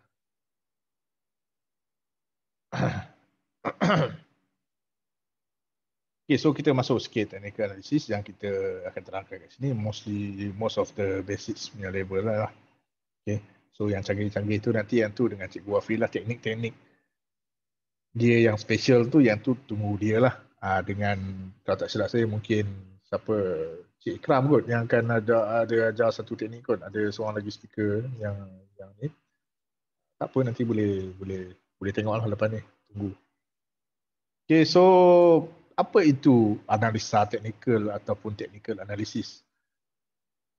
Technical analysis adalah mengkaji pergerakan pasaran dengan menggunakan chart. Itu je. Okay dia kaji pergerakan pasaran naik ke turun ke dengan menggunakan chart. Okey, chart jenis-jenis chart ada empat. Ada candlestick, ada bar chart, ada line chart, ada point and figure. Yang selalu widely used adalah candlestick kita pakai. Okey, sebab informasinya banyak dekat situ. Okey. So, ini adalah candlestick. Okey, candlestick dia ada high, close, open dengan low. Okey, apabila open lebih open rendah, close high, close lebih tinggi daripada open, maknanya body dia akan menjadi bullish berwarna hijau ataupun putih. Ha, dia normal dua color ni je selalunya normal. Hijau atau putih. Ada orang nak tukar-tukar color jadi warna kuning ke kelabu asap ke apa ke, ha, itu terpulang lah masing-masing. Ada juga orang yang dia buat bullish dia, dia tukar, dia terbalik kan. Color dia jadi warna merah. Yang bearish pula dia tukar warna hijau dari segi psikologi ke apa ke dia nak buat itu terpulang. Kalau kata boleh tukar, you rasa nak tukar, you rasa macam comfortable macam tu, boleh buat. Tapi normal dia, asas dia, kalau open rendah, close tinggi, dalam dalam pada masa tu lah, candlestick ni terbentuk dalam satu minit ada, 15 minit ada, 5 minit ada, 1 hour ada, 4 jam ada, satu hari ada, weekly ada, monthly ada. Okay, dia ikut time frame. Okay, kalau time frame yang kita ambil tu 5 minit. Dan satu candle terbentuk dalam masa 5 minit lah. Kalau time frame tu kita ambil dalam masa 1 jam, satu candle tu terbentuk dalam masa 1 jam lah. Terus kalau daily, satu candle tu terbentuk dalam masa satu hari lah. Daripada pagi sampai petang baru dia dapat bentuk yang sebenar. Sebab dia dah close. Okay, sebab itu kalau nak tahu, kalau kita trade terlalu kecil time frame, terlalu rendah satu minit ke apa semua tu. Susah sebab time frame yang lebih yang terlalu rendah ini terlalu banyak noise. Sebab dalam satu minit berapa banyak sangat transaksi yang berlaku. So that's why dia ada noise. Sebab dia tidak menggambarkan kenaikan ataupun eh, dia tidak menggambarkan bentuk candle yang sebenar. Sebab tu kita kena tengok juga candle time frame time frame yang besar. Apa yang berlaku. Sebab informasinya uh, buyer dengan sellernya berada dalam pada satu timing masa yang agak comfort lah untuk kita tengok macam oh, okay, dalam masa satu jam okay, punya buyer lebih kuat. So dalam satu jam banyak benda boleh berlaku dalam satu minit tak banyak. So itu yang orang kata time frame yang kecil itu banyak noise. Time frame yang besar tu lebih baik. Ha, cuma kita tak nak lah besar sangat time frame tu sebab CPO ni kan uh, apa nama kalau kalau nak pakai time frame besar nanti stop loss lagi besar. Targetnya of course memang lagi besar tapi margin nanti pula diperlukan lagi besar. Yang modal yang kita nak pakai nanti sebab kalau sikit sangat tak tak tak tak tak, tak susah lah. So that's why kita check a few time frame lah untuk comfortable. Okay? Untuk entry mungkin time frame yang lower time frame untuk untuk untuk untuk, untuk tengok pergerakan utama dia ke apa semua ke time frame yang lebih besar. Okay? Kalau open dia tinggi close dia rendah dia jadi warna merah ataupun warna hitam normalnya okey uh, lowest dia akan jadi jadi dia punya bawah dia echo dia ataupun high dia tengok tengok body tu close kat mana lah okey kalau kata dia open dekat sini dia close dekat high ni maknanya dia boleh body ni dia boleh tutup sampai atas lah. Ah, itu dia punya cara. Apa nanti kita go through sikit lagi. Ah, kita tengok dulu bacat. Bacat dia ada informasi yang macam ni tapi dia tak dia tak completekan body dia. Okay, kalau kata tadi punya informasi pun sama high close open low. So kalau macam ni kan dia close dia open rendah dia close high.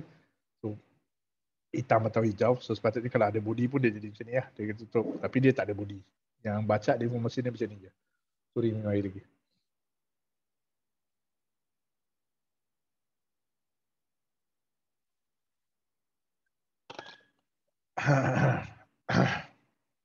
okay. Um, sama juga dengan yang ni. Dia tak ada body. Okay. Line chart dia lagi lagi best. Dia pakai closing je. Dia tak ada high, tak ada open, tak ada uh, close. Dia, uh, sorry, tak ada high, tak ada open dengan tak ada low. Okay.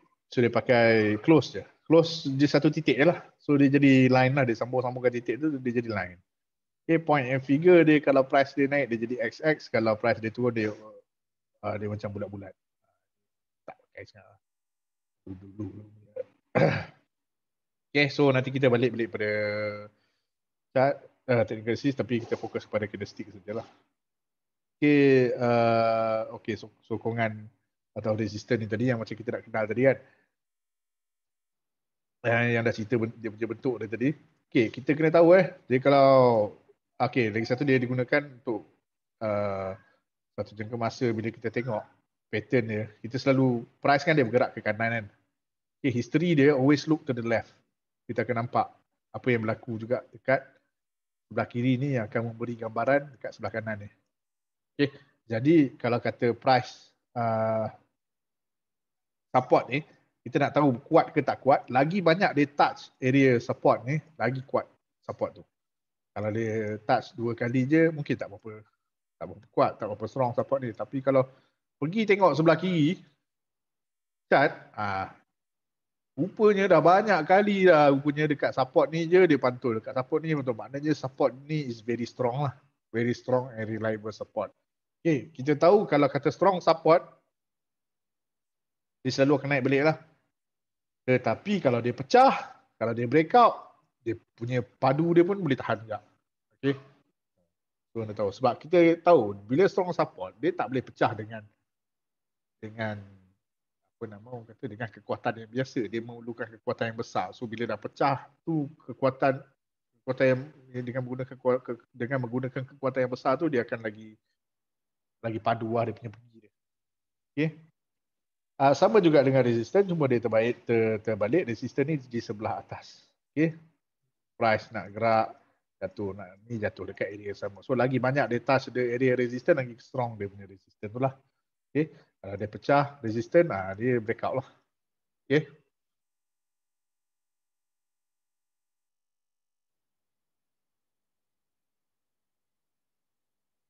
Okay, kita nak kena pasti first pasal support dengan resistance juga. Okay, cara yang nak menggunakan support dengan resistance kombinasi yang bagus dengan uh, price ini okey yalah price price price ni dia boleh menggunakan dengan support dan resistance dengan Fibonacci retracement dengan trend line dan juga dengan moving average untuk kita kita kena pasti support dan resistance ni okey so uh, ini yang berulang ni tadilah okey so contoh yang ber, berulang ni lah, macam kita boleh tengok ini lah okey Nah, ni ya, kuat eh, kuat pula apa resistant resistant dekat area yang sama dia kuat resistant empat kali Dia tembus dengan kekuatan. Naik banyak. Dia pergi balik kat sini. Dia jadi support balik. Okay. Uh, resistance jadi support. Sebab area ni susah. Area ni tough. So dia naik balik. So kita boleh tengok left lah. To the left untuk tengok betapa ni kekuatan. Okay tengok area ni. Area ni pula area support juga. Dia sebenarnya je selalu dia pantul balik. Dia je selalu dia pantul balik. Ha, ni dua. Support. Okay. Kalau kita main train line pula sebenarnya kita boleh tarik juga kalau nampak. Okay. Ha, kena train line ni. Train line ni juga boleh jadi resistant eh. Jatuh. Kena sampai jatuh. Jatuh. Jatuh. Ha, ni ada breakout. Okay. So dia tak nampak. Tapi kalau kita, kita perhatikan dia macam seni lah. Uh, chart ni macam seni. So kalau kita dah biasa tengok kita tengok nampak kita boleh boleh roughly figure out okay, ni macam ni support support dekat trend line kuat. Uh, so, ni kuat. Dicampur dengan dia campur support dia campur trend line okay. Uh, ni dia punya dia punya breakout. Jatuh ke bawah. Okay, so ini contoh. So always look to the left untuk tengok support dengan resistor. Area mana, area ni kuat ke tak kuat, area ni lemah ke tak. Uh, trend line pun sama. Okay, so kita tengok satu lagi. Fibonacci retracement. Okay, Fibonacci retracement ni jangan risau. Dia adalah tools yang digunakan dalam trading platform. Yang bila kita pilih, kita boleh tarik dia untuk keluar certain-certain percentage level level untuk kita tengok dia berhenti dekat mana. Okay. Fibonacci retracement ni uh, kalau kita tarik daripada bottom dengan high dia, dia keluarlah level-level tu. So dia retrace dekat area mana. Okay. So kita tak kita tak payah ambil Okay, abaikan sebelah kanan ni dulu. Tengok sebelah kiri ni. So kalau kita tarik sini ke sini, uh, sebelah kanan ni anggap dia tak ada dulu.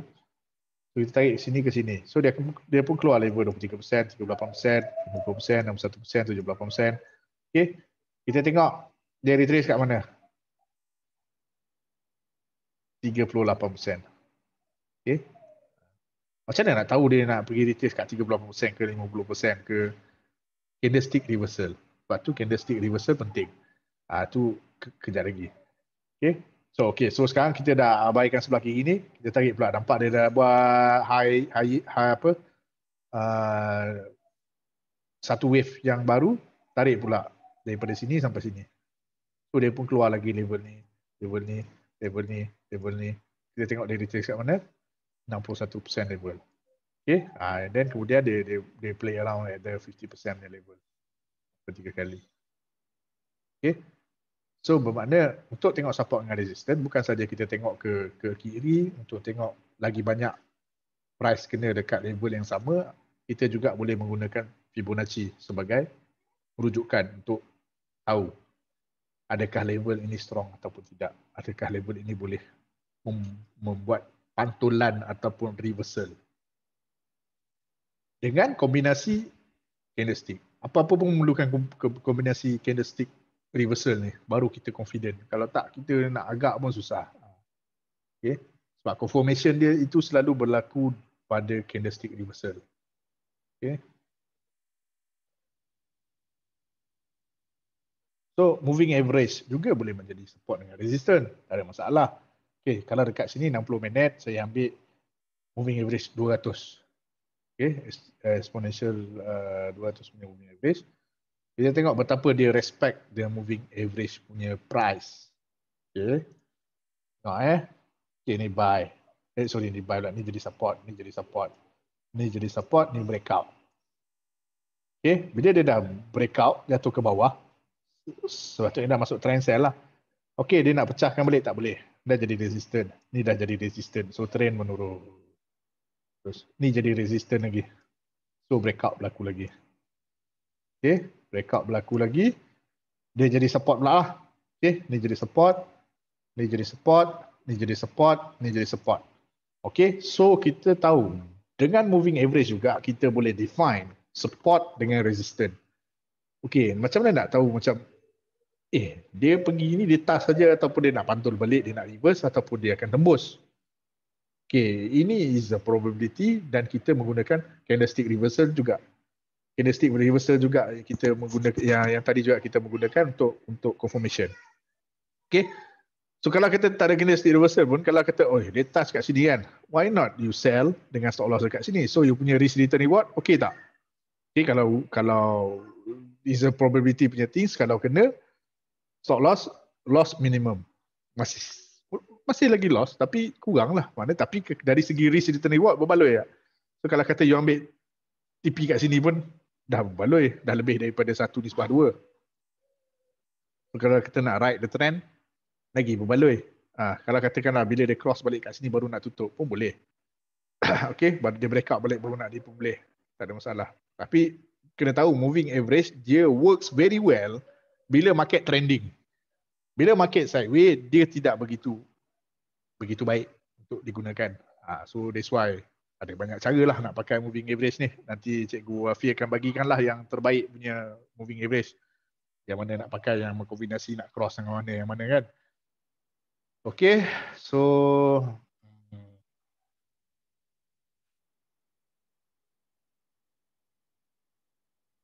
itu banyak pun rupanya dah sebelah 40. Laju sikit. Okay, uh, konsep asas trend uh, terbentuk dalam chart bergerak secara menaik, menurun dan ke sisi. So dia ada tiga lah. Saya nak cakap laju pun susah. Tekak, tekak saya rasa macam apa ni? Sorry eh. Dia minum lagi. Sebab suara tiba-tiba macam nak hilang.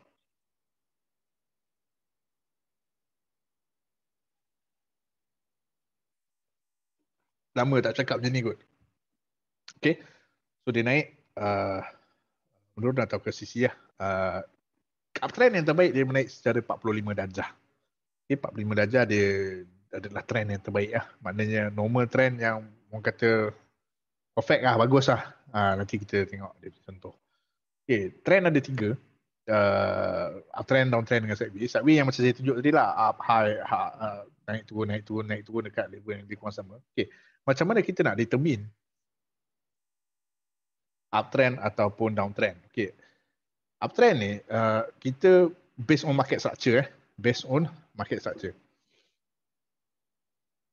Selagi mana high ini lebih tinggi daripada high ini, low ini lebih tinggi daripada low ini, uptrend masih lagi berlaku. Okay, masih lagi naik. Dia tak terbatal. Masih lagi uptrend lah. Okay. Kalau downtrend pula, selagi mana low ini lagi rendah daripada low ini, high ini lagi rendah daripada high ini, dan selanjutnya downtrend masih lagi berlaku. Tidak bertukar arah lagi menjadi uptrend. Okay, melainkan tiba-tiba dia jadi macam ni. Ha, okay, ini standby lah. Mungkin nak bertukar arah. Ha, kalau tak bertukar, dia mungkin naik balik. Tapi kalau dia bertukar, dia confirmation dia, dia break lagi sekali kat sini. Jadi, tukar downtrend lah. So, kita kena tahulah. Downtrend ni dah tukar, dah tukar trend. So, tukar strategi. Sama juga yang ni tadi. Okay. So, kena tukar strategi. Kalau trend berubah. So, nak kenal pasti trend menggunakan oh, panggil apa nama uh, structure, market structure. Ha, okay, dengan menggunakan market structure. Next. Uh, trend is your friend except at the end when it bends. Okay, so lagi mana dia right, dia dia trend dia tak berubah continue to ride lah. Tapi nak ride trend bukan satu benda yang mudah. Walaupun kita dalam profit. Kita dalam keadaan profit ni tapi nak ride trend bukan satu benda yang mudah. So sebab itu uh, trade ni sangat bermain dengan emosi. Sebab masa tu kita dalam keadaan profit kita boleh ambil profit. Tapi nak hold lagi tu dia kadang-kadang rasa Kang jatuh kang macam ni dia macam-macam bermain di fikiran. So trader yang bagus dia tak terlalu emosional dia kena ada masalah emosi apa-apa ke kalau boleh jangan trade pada masa tu lepas tu dia uh, pastikan seorang yang mempunyai disiplin yang tinggi okay? kalau dia mempunyai disiplin yang tinggi you pegang pada disiplin you insyaAllah memang boleh berjaya di dalam dunia trading okay? so uh, macam mana je trend Uh, okay, ni tak tak 45 darjah. Dia naik terlalu steep. Trend tadi kita cakap dia kan. Uh, so tapi dia turun pun laju dia pecah. Uh, so ni, ni 45 darjah cantik. So apabila 45 darjah cantik sebenarnya kita boleh membuat belian dekat support-support trend tu tadi. Okay, ni major lah. Okay, ni daily punya ni lebih kurang udah medium. Uh, so trend-trend yang mungkin kita boleh kenal pasti macam macam garis garis ini semua steep steep steep steep uh, 45 darjah lebih kurang pada ini lah. Okay. So nampak ni, ni candlestick reversal berlaku dekat atas uptrend. Okay. Dia naik ni, continue. Ha. Dekat sini kadang-kadang orang panik kan. Ha, kena pula jenis yang macam ni. Dia bagi merah kan. Confirm nampak macam nak jatuh kan. Candlestick pula tak membantu. Ha. So sebab tu kena tunggu confirmation. Ha, so tak confirm. Tak ada follow through daripada candlestick ni. Naik pula dua lagi candlestick baru buat lagi naik kenaikan yang baru. So sebab tu kena stick penting. Kena, kena tahu nanti. Okay, short term. Contohlah kan. Okay, trend line juga boleh act as a support dengan resistance. Macam saya cakap tadi, okay, satu tengok ke kiri, boleh tengok price to touch banyak kali kat level yang sama untuk determine support resistance. Menggunakan Fibonacci, menggunakan trend line pun boleh, eh, menggunakan moving average, lepas tu trend line. Okay, So balik-balik kepada candlestick tadi yang kita dah terangkan tadi. Uh, uh, apa nama? Candlestick bullish dengan bearish. Uh, kalau open rendah, close tinggi, putih uh, ataupun hijau. Open tinggi, close rendah, merah ataupun hitam. Okay. Reversal candle pattern. Uh, yang ni yang penting yang kena hafal. Okay. kalau nampak yang slash-slash ni saya buat macam ni sebab nama tu berbeza-beza tetapi kadang bendanya yang sama. Kadang-kadang orang confuse. So saya dah satukan macam tu so senang nak tengok. Okay. So dia ada lima pair je lebih kurang. Yang pertama kita go kepada pin bar ataupun orang panggil hammer. Bullish pin bar. Eh. Bullish pin bar kaki dekat bawah dia lebih panjang dari badan dua kaki. Dia punya karakteristik sesuai digunakan bila trend kuat, tidak sesuai untuk counter trend. Okay, faham eh maksud dia kalau kata uh, yang pertama ni tadi, kaki dia dua kali daripada body. Kalau kita ambil dua kali lah, dia lebih kurang lah. Body dia besar ni kan, so dua kali, so ni adalah good bar lah. Okay, sesuai digunakan bila trend kuat. Trend kuat maknanya ikut trend lah. Maknanya kalau kata dalam keadaan market dalam keadaan bullish, kita jumpa pimba, bagus lah. Okay, bye. Uh, seolah mungkin bawah tu. So tidak sesuai untuk counter trend maknanya dalam keadaan market naik uh, sorry dalam keadaan market turun uh, tu kita jumpa bullish pin bar. Tak sesuai lah guna sebab kita counter trend ni. Bullish pin bar ni untuk naik. Kita nak untuk naik tapi trend ni dalam keadaan menurun. So itu masuk dia counter trend. Okay. Uh, Yang kedua adalah pimba juga tapi bearish pimba ataupun shooting star. Karakteristik dia yang sama, kaki lebih panjang daripada body dua kali tetapi terbalik. Kepala dia kat bawah. Ah, dia macam taik bintang jatuh. Ha, kan? Ekor dia kat atas. Kalau tadi macam hammer, ha, macam kepala dia kat atas, ini kepala dia kat bawah. So dia selalu berada dekat area resistant lah. Resistant area kalau jumpa macam gini, hati-hatilah ada kemungkinan ini adalah shooting star ataupun bearish pin bar dia nak jatuh. So bearish lah. Okay, bearish candlestick. Uh, okay, pair yang kedua adalah bullish outside bar ataupun bullish engulfing ataupun kita panggil morubuzu. Okay. Karakteristik dia candle kanan perlu menutupi candle kiri. Kenapa saya buat satu warna warna warna dua jenis warna ni kan? Sebab dia dia dia sama. Dia color ni putih dengan hijau bullish hitam dengan merah iris lah. So jadi kita tahu eh candle sebelah kanan ni dia meliputi candle yang sebelah kiri ni semua. Okay. Dan ini warna warna candle yang bullish lah. So dia menunjukkan nak naik lah candlestick reversal. Okay. So bearish dia pula terbalik bearish outside bar ataupun bearish engulfing dia terbalik. Candle kanan menutupi candle kiri.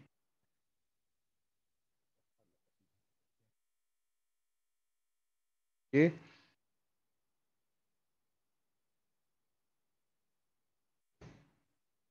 Ha, dia dia ni dia bearish lah.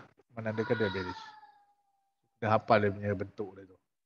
Besar dia punya ni kan. So dia dah meliputi. Dah cover.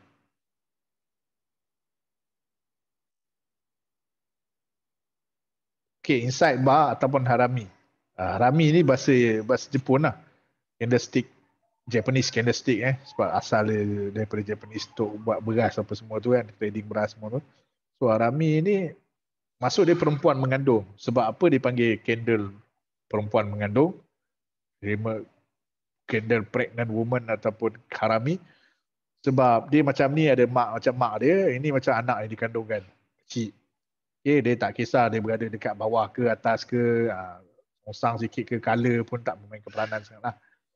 So, dia inside bar. Inside bar is harami punya candle lah.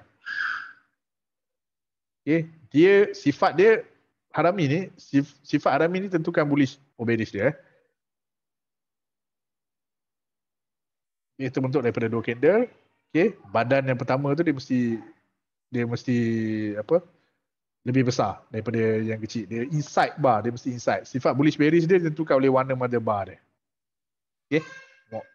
Outside, outside, outside bar tadi, candle yang besar sebelah kanan tau.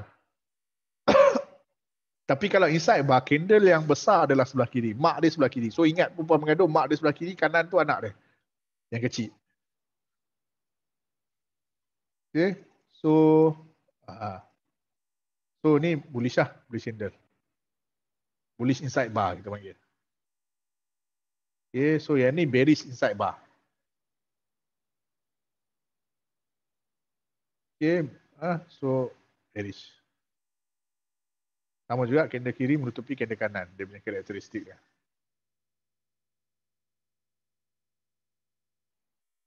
Morning Star. Okay, Morning Star uh, dia terdiri daripada tiga candle. Mula-mula pressure kuat untuk seller. Sell, sell, ada selling lah berlaku kat sini. Okay, pressure kuat. Lepas tu dia dia macam uh, stabilize balik. Dia just stabilize ada satu candle kecil. Ah, okay, dia stabilize balik. Tiba-tiba dat masuk balik pengganti dia. Wah, buyer yang baru. Lawan balik selling pressure sebelum tu. Okay, dia dipanggil Morning Star. Uh, so macam matahari terbit lah. So dia adalah signal ataupun candle reversal untuk bullish. Kalau ada gap, dia lagi kuat. Uh, okay, yang ni kalau ada gap ni, ni ada lagi dia lagi kuat. Kalau tak ada gap boleh juga digunakan tapi dia tak sekuat yang ada gap.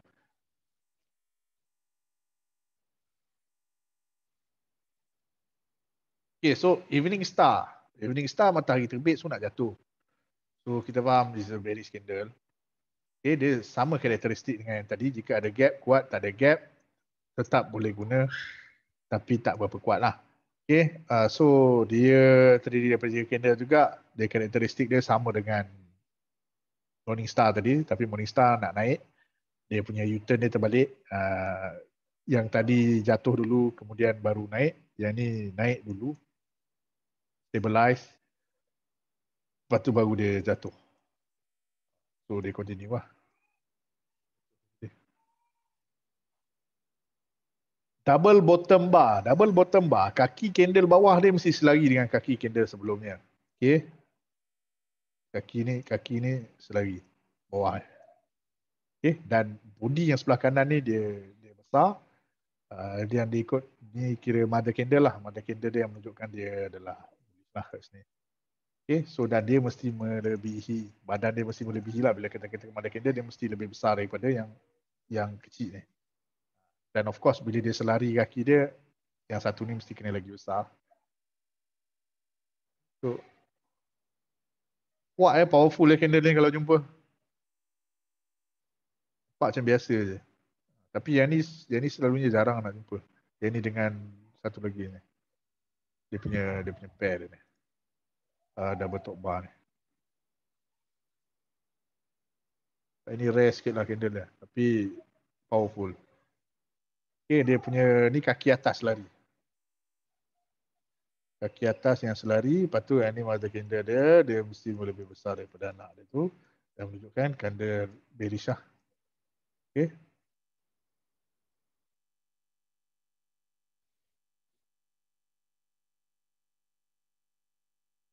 Okay, moving average.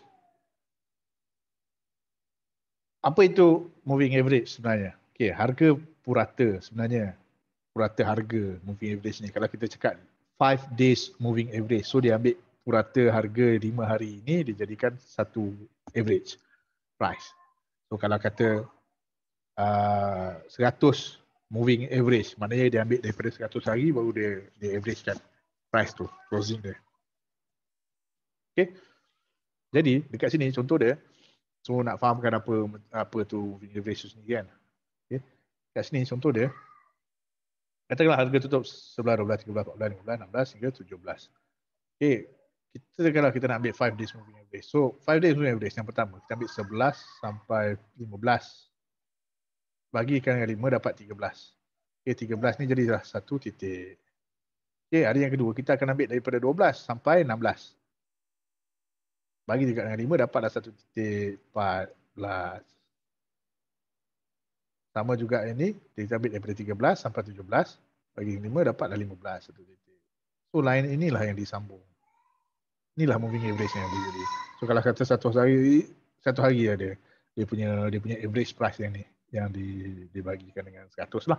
So dapat titik-titik berikutnya dia akan ambil next next next next next. So jadilah satu line yang macam tadi tu untuk kita determine support dengan resistance untuk kita determine bullish dengan bearish. So dekat sini penggunaan moving average dan cara guna dia. Okey, untuk kena pasti trend of course kalau kata harga dekat bawah moving average yang kita guna tu downtrend lah. Harga dekat atas is uptrend. Lepas tu uh, kita boleh gunakan dia sebagai access support dengan resistance juga yang macam tadi saya tunjuk contoh cara guna dia ialah of course lah beli atas line moving average jual dekat bawah tu stop loss dia berdekatan berdekatan saja dengan bawah tu dan kena ingat uh, moving average ni works very well bila market trending uh, dan dia tidak begitu cantik ataupun sangat sesuai digunakan bila market sideways. Okay. Uh, okay, kalau kita tengok kat sini banyak teknik yang gambar ni lah contoh banyak teknik banyak dia guna cara macam-macam tapi tak dapat hasil. Tetapi satu orang ini menggunakan satu teknik atau cara yang dia tahu yang sama yang mungkin dia mahir tapi satu teknik je. Dia pakai berulang kali dia dapat banyak ikan. So dekat sini bukan salah teknik. Okay, salah maknanya dengan satu teknik yang kita yakin, kita biasa, kita praktikan berulang kali sampai kita sangat mahir dengan teknik itu kita boleh apa nama orang kata dapat uh, keputusan yang mungkin lebih baik daripada menggunakan berbagai-bagai macam teknik tukar tu tukar ni tukar sana tukar sini end up dia kita akan confuse sendiri nanti. Ha, itulah tapi kalau teknik tu tak bagus pakai setahun pakai satu teknik tu tak profit-profit juga itu tak boleh pakai juga lah kan? Kena, kena pastikan teknik yang proven lah. Okay. so ni untuk siapa yang tak ada buka account lagi nanti tak boleh PM dekat Abah Fukon atau Amir Nutai pun boleh nanti. Tak apa nanti saya bagi je slide ni so kita habis. Kita go through to the second punya uh, apa nama? Webinar. Oh, masa pun sebenarnya habis. Tapi tak apa. Kita kita kita kita kita kita kita cerita sikit. Tak apa. Uh, sama sikit. Tak apalah. Ambil ambil sikit lah. Sorry lah. Kacau masa marah pula. Tim WR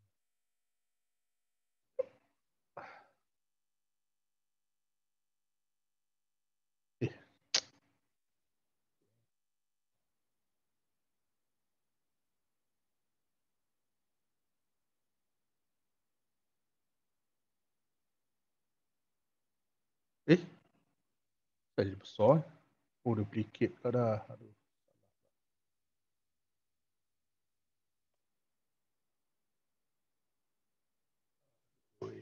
Jangan aja. Sorry, sorry.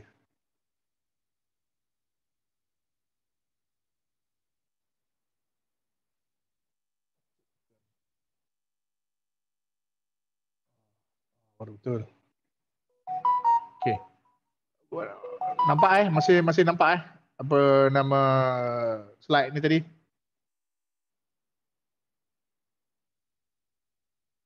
Jelas eh? Okay, suara pun jelas eh? Okay. Kalau kita sambung uh, sikit pasal jenis platform, jenis order. Yang important sebenarnya jenis order ni. Yang saya nak terangkan ni, yang mungkin makan masa sikit. Uh, dengan sambung terminologi sikit lah. Terminologi tu tak lama lah. Sorry saya ambil masa sikit lagi, mungkin 15 ke 20 minit lagi. Uh, uh, okay, dalam RSB kita ada tiga jenis platform. Kita ada AES, GTS, kita ada RSB Futures, KST, KST pun kita ada. Kita ada CQG. Okay, nak pilih yang mana? Okay, ini comparison dia. Kalau tengok, uh, both ketiga-tiga platform ada features punya produk, ada bursa punya produk, ada foreign punya produk, ada basic setting. Uh, tetapi desktop application CQG tak ada. Sebab CQG ini adalah web based. Web based macam trading view. Dia pakai HTML. So dekat mana-mana boleh login. Dekat Windows ke, dekat apa nama Mac ke, as long as ada browser lah. Uh, dekat dekat tab. Dekat tab ke apa tak kisah. Uh, mobile application semua ada. Mobile apps. Uh, tak ada masalah. Even CQG sini pun ada mobile app. Web browser RSB features GTS tak ada. So untuk orang yang office yang mungkin dia boleh buka untuk trade pakai browser je dia tak boleh install sistem dalam apa semua dia tak boleh pakai GTS lah Uh, sebab ACTS dia kena install nak pakai kat PC. Kalau mobile of course lah pakai apps lah boleh ini kat mobile lah. Uh, tetapi kena ingat dekat AES GTS ni dekat AES GTS ni mobile dia tu dari segi chat tidak begitu begitu convenience lah untuk tengok. So kalau kata pakai kat PC tak ada masalah dia ada dua jenis chat. Dia ada chat next view, dia ada chat DZSL. Next view ni based on Java punya chart. So kalau PC ke ada masalah dari segi Java ke semua dia, dia agak leceh sikit. Tapi kita support dengan DZSL lebih kepada HTML punya chart yang masih lagi boleh boleh boleh boleh tengok live chart lah. Okay, QST uh, pada masa-masa sat, dalam satu masa hanya boleh buka satu chart saja. Ah, dia dia punya mobile pun biasa je. Uh, tapi yang free adalah ASDTS. Kalau GST kena 20 lot sebulan kalau CQG kena 100 lot sebulan. Okay.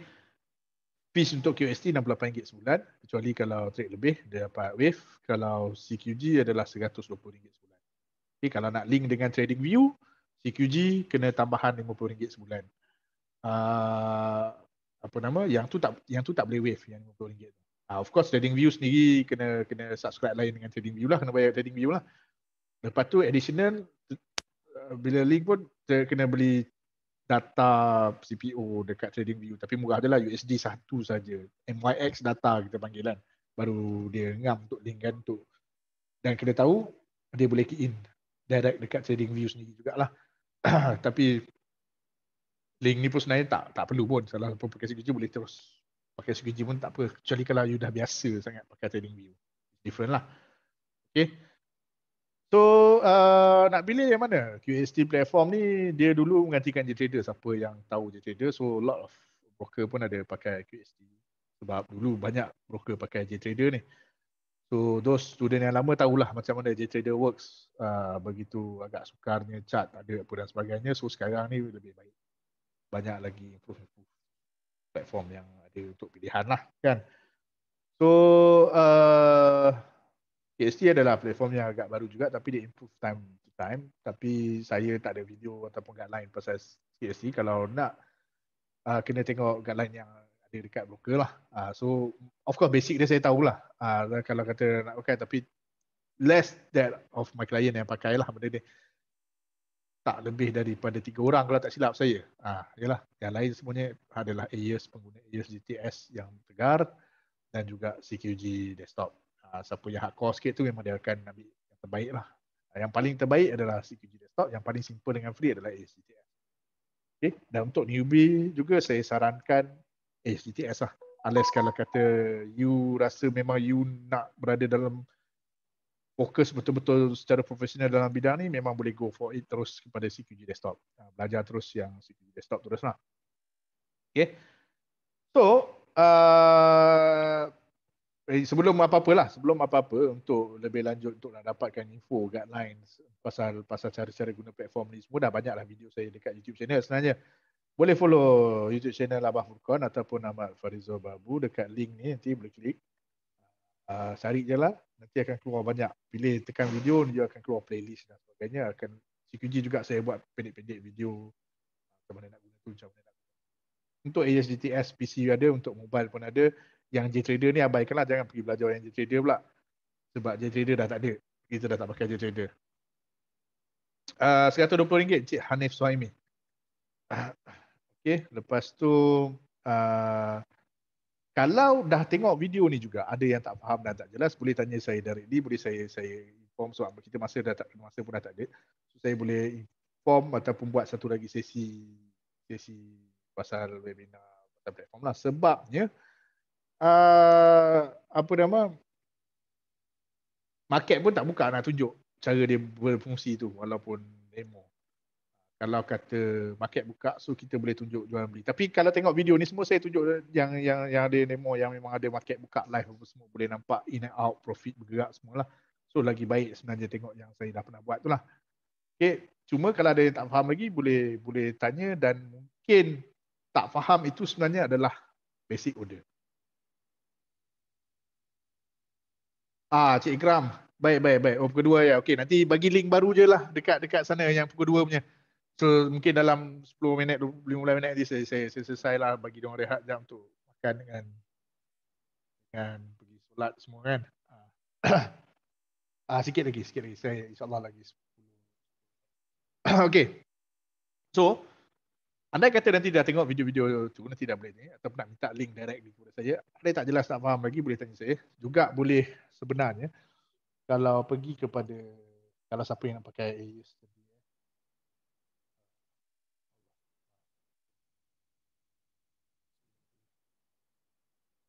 Oh. Okay, ni, ni kalau trading view oh ya yeah. tadi saya ada lukis juga kalau kata nak ambil daripada apa ni boleh nampak dengan 50% juga Uh, okay, pergi dekat ni RSB Trade Smart.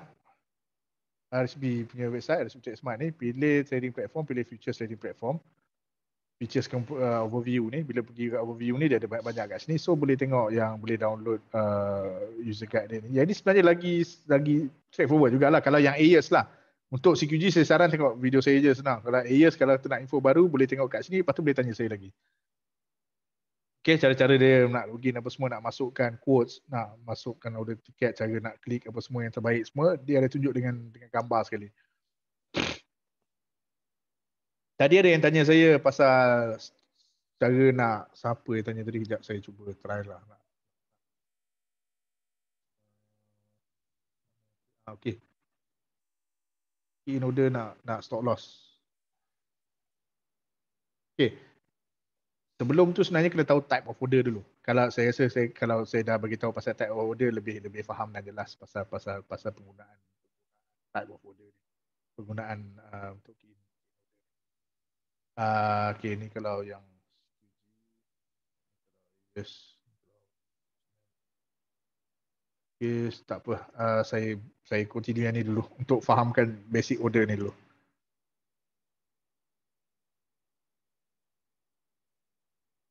Okey, dalam trading kita ada empat jenis basic order yang kita kena tahu. Okey. Oh, alamak ada soalan. Kedua, kalau buka account ini akan sama-sama buka account share ke tak? Tak kalau CPO, CPO derivatif saja. Kita tak buka share sekali. Kecuali kalau mention kalau nak buka CDS sekali, kita akan bagi berserta dengan CDS lah untuk share sekali. Boleh sebab dia different, different type of account. Boleh tunjuk mobile apps untuk ACTS lah. Dia ada chat cantik macam MT4 tak? Chat cantik macam MT4 tak? Jangan, jangan, jangan harap. Chat untuk ASDTS tu sangat dia macam line chat untuk daily je. Uh, so kalau rasa memang lebih kepada pengguna mobile, saya sarankan ambil yang CQG. Uh, ah, tapi ni sikit lah, kena kena berkorban sikit lah. Uh, sebab CQG punya chart, handphone semua memang cantik lah. Memang kalau kata siapa yang pernah trade forex, yang pernah pakai MT4, Yang paling comfortable platform yang dia orang boleh gunakan adalah CQG. Ah ini saya cakap terus terang. So, even kalau dia orang pakai AES boleh bukan tak boleh tapi ambil masa sikit nak nak nak ni sebab dia akan confuse dengan sebab dia dah pernah pakai MT4 platform yang agak canggih. Uh, so apa nama buy market, buy lim, uh, market order, limit order, stop limit dengan stop. Okay, terus terang saya cakap market order semua orang tahu. Bila kita buy market, sell market je dia buy instantly. Kita tak perlu key in pun order tu. dia terus masuk je whatever market price bagi dia bagi yang terbaik. Cuma kena ingat eh kalau kita key in market order. Biasanya sistem akan tunjuk eh kenapa dia beli tinggi sedangkan aku beli harga ni tapi dapat 40 tick tinggi. Tak itu sistem tunjuk je kalau betul-betul tengok kat average price dia dapat harga market sebenarnya. Sebab apa sistem buat macam tu? Sebab dia nak beli dengan, dengan harga yang terbaik so dia kena bid harga yang paling tinggi. Kalau buy lah, kalau sell pula dia akan bid harga yang yang paling rendah yang maksimum yang dia boleh go so that you will get orang yang pertama yang akan dapat harga yang queue dekat pasaran tu uh, sebab sebab harga bergerak dengan laju eh faham eh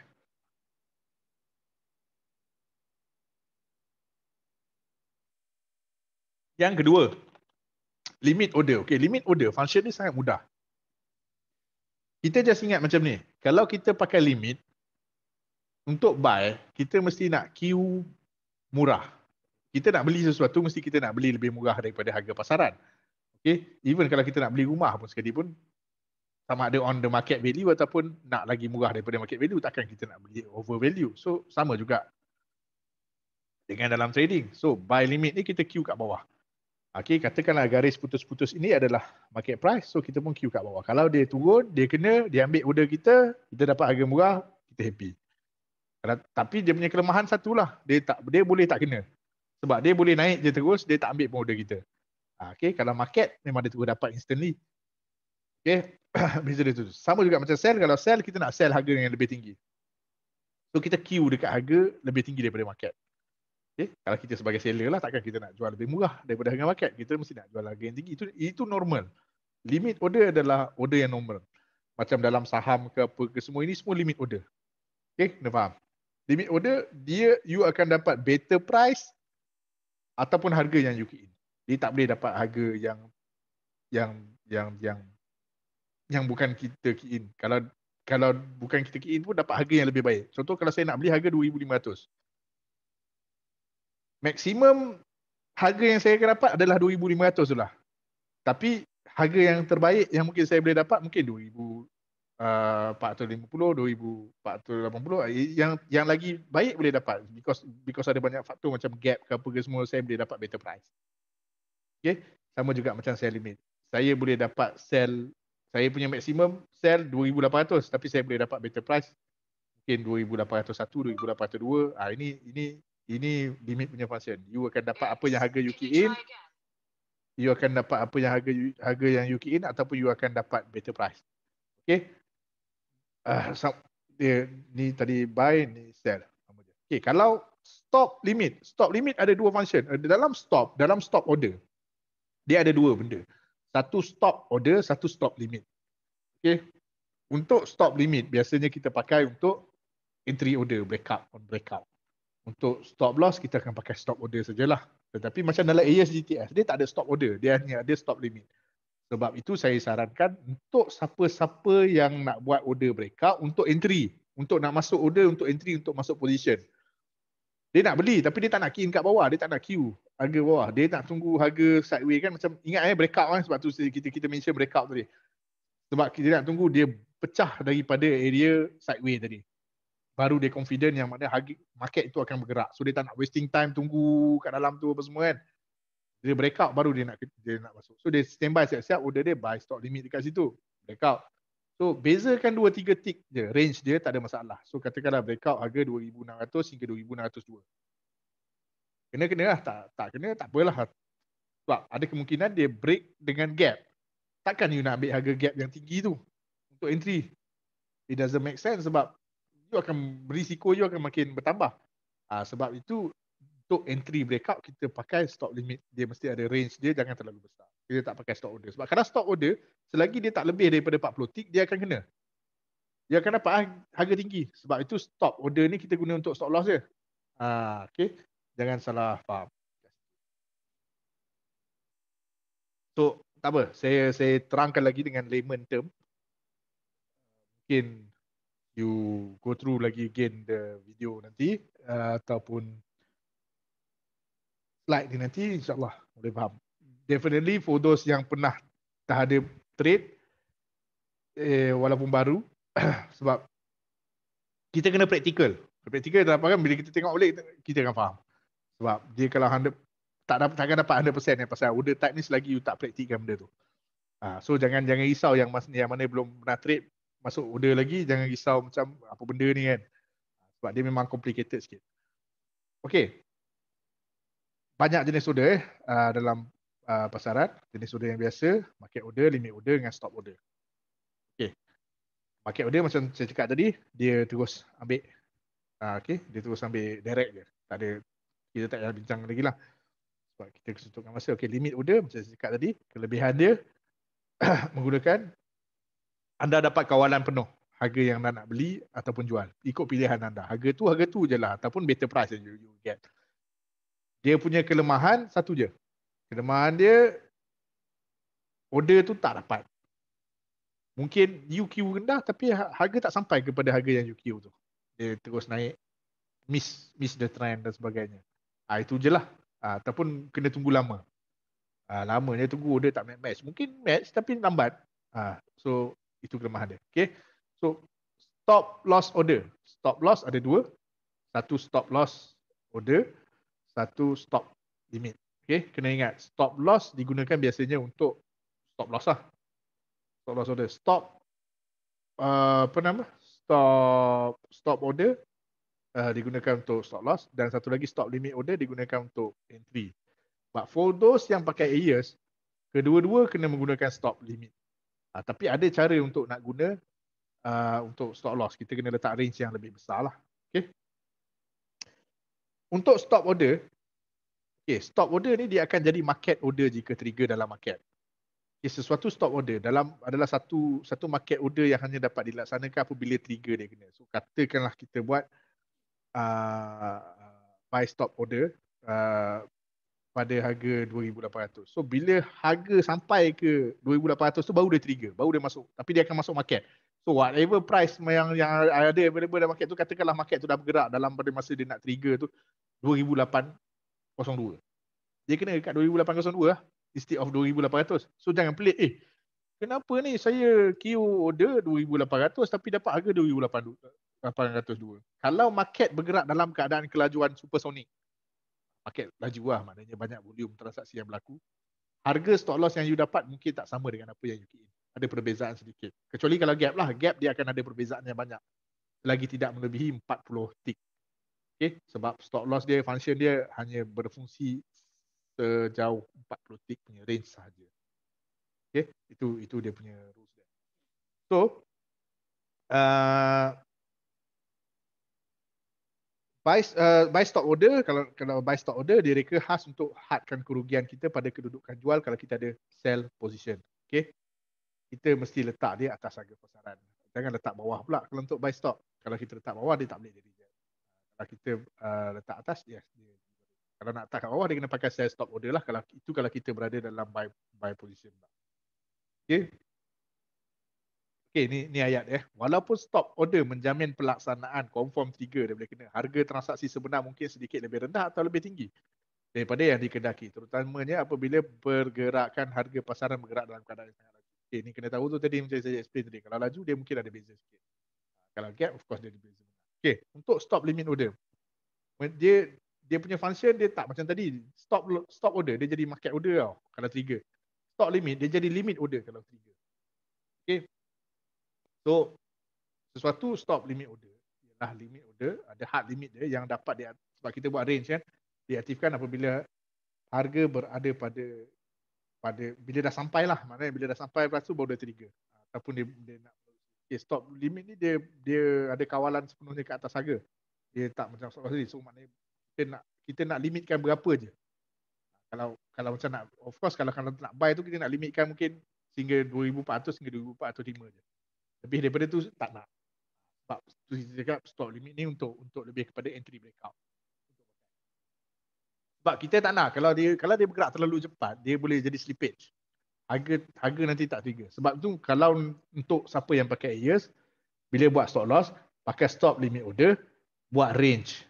Ha, kalau baiknya lebih daripada 5 tick pun lagi bagus. Sebab kalau stop loss punya function dia sampai 40 tick.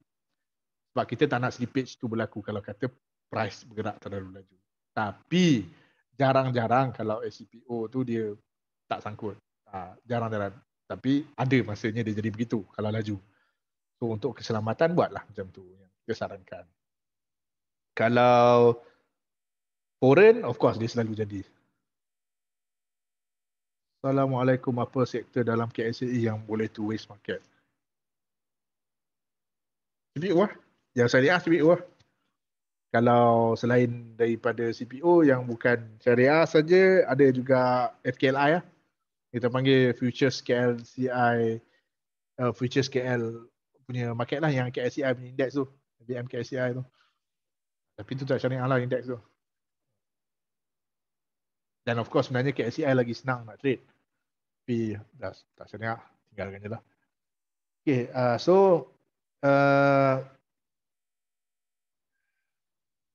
stop limit order lebih sesuai digunakan untuk entry backup dan diletakkan di atas harga pasaran jika ingin membeli dan juga diletakkan di bawah harga pasaran jika untuk menjual untuk entry breakout eh. Penggunaan stop limit order untuk stop loss pula amat tidak digalakkan kerana sekiranya harga bergerak laju bergerak terlalu laju ianya akan menyebabkan order tidak dapat trigger dan loss akan berterusan. So ini kena jaga. That's why kita selalu kena always check and balance kita punya trading account ada buat transaksi apa pun tengok balik working order, tengok balik position dan sebagainya so that kita selalu aware dengan kita punya kita punya ada ada orang oh, dia dia letak stop loss, dia letak TP dia ada entry kan. Okey, tiba-tiba kena TP. Lepas tu dia dah tinggalkan dia tutup platform. Tapi sebenarnya dia kena ingat stop loss dia tadi order dia hidup. So kalau tiba-tiba price sampai kat stop loss dia akan buka order yang baru. So kena tahu kena manually cancel. Kecuali kalau you pakai bull and bear punya order ataupun you pakai OCO baru dia one cancel others. Ah, tapi kelemahan dia dia tak ada GTC. Macam CQG dia ada GTC. Ah, so lebih selamat maknanya bila you masuk order you boleh tinggal. Kena TP tak ada masalah. Stop loss dia akan auto cancel. Kena stop loss tak ada masalah, TP dia akan auto cancel. Ah, dia masuk sekali tiga bersentak dalam satu order. Entry, TP dengan SL. So dekat AUSDTS pun dia ada entry, TP dengan SL tapi dia panggil order dalam condition order bull and bear. Tapi dia boleh di in dengan menggunakan PC saja. Tak boleh pakai apps. Kalau CQG dia boleh pakai apps, dia boleh pakai PC. Both lah. Okay. So kena ingat siapa yang pakai ASDTS untuk stop loss, pakai stop limit ni buat range stop loss tu. At least jangan satu price lah. Jangan bagi price tu sama. Kalau buat 2-3 tick pun tak apa lagi. Okay, tapi kalau kata siapa yang trade foreign futures tu kalau boleh besarkan sikit. Sebab foreign futures lagi laju lah kadang-kadang certain certain certain produk of course macam crude oil tu lagi laju daripada CPO lah. Okay, uh, jenis basic order. Uh, good till date, uh, pending order takkan batas hingga tarikh yang ditetapkan. Itu kita set siap-siap tarikh apa yang kita nak order tu terbatal secara sendirinya. Okay, biasanya jarang orang pakai lah, orang akan pakai good till cancel, GTC. Okay, pending order ni takkan expired sehingga dibatalkan secara manual ataupun selagi dia match lah.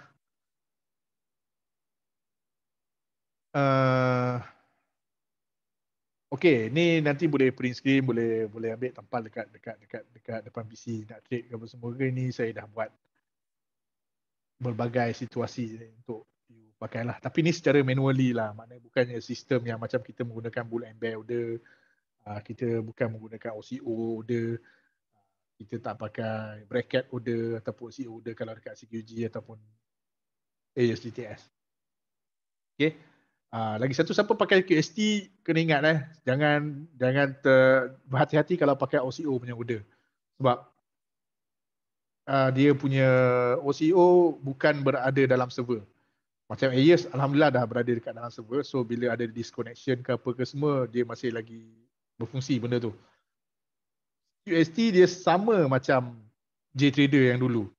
Ha, sebab tu saya apa sangat. Dia punya kalau siapa pakai OCO tu bila kata ada disconnected one second pun order tu sebenarnya dah tak valid sebab dia simpan dia simpan OCO order tu dalam dalam dalam PC bukan dalam server. Ha, so bila jadi disconnected tu nanti kita ingat macam order tu okey lagi tapi sebenarnya order tu dah batal. So hati-hati yang tu lah. Itu QST lah eh. CQG dengan Yes, alhamdulillah dia dua-dua dah server side order. Dah dah dah, dah, dah maknanya order OCO tu berada dalam server. So tak perlu nak worried sangat kalau kata disconnected.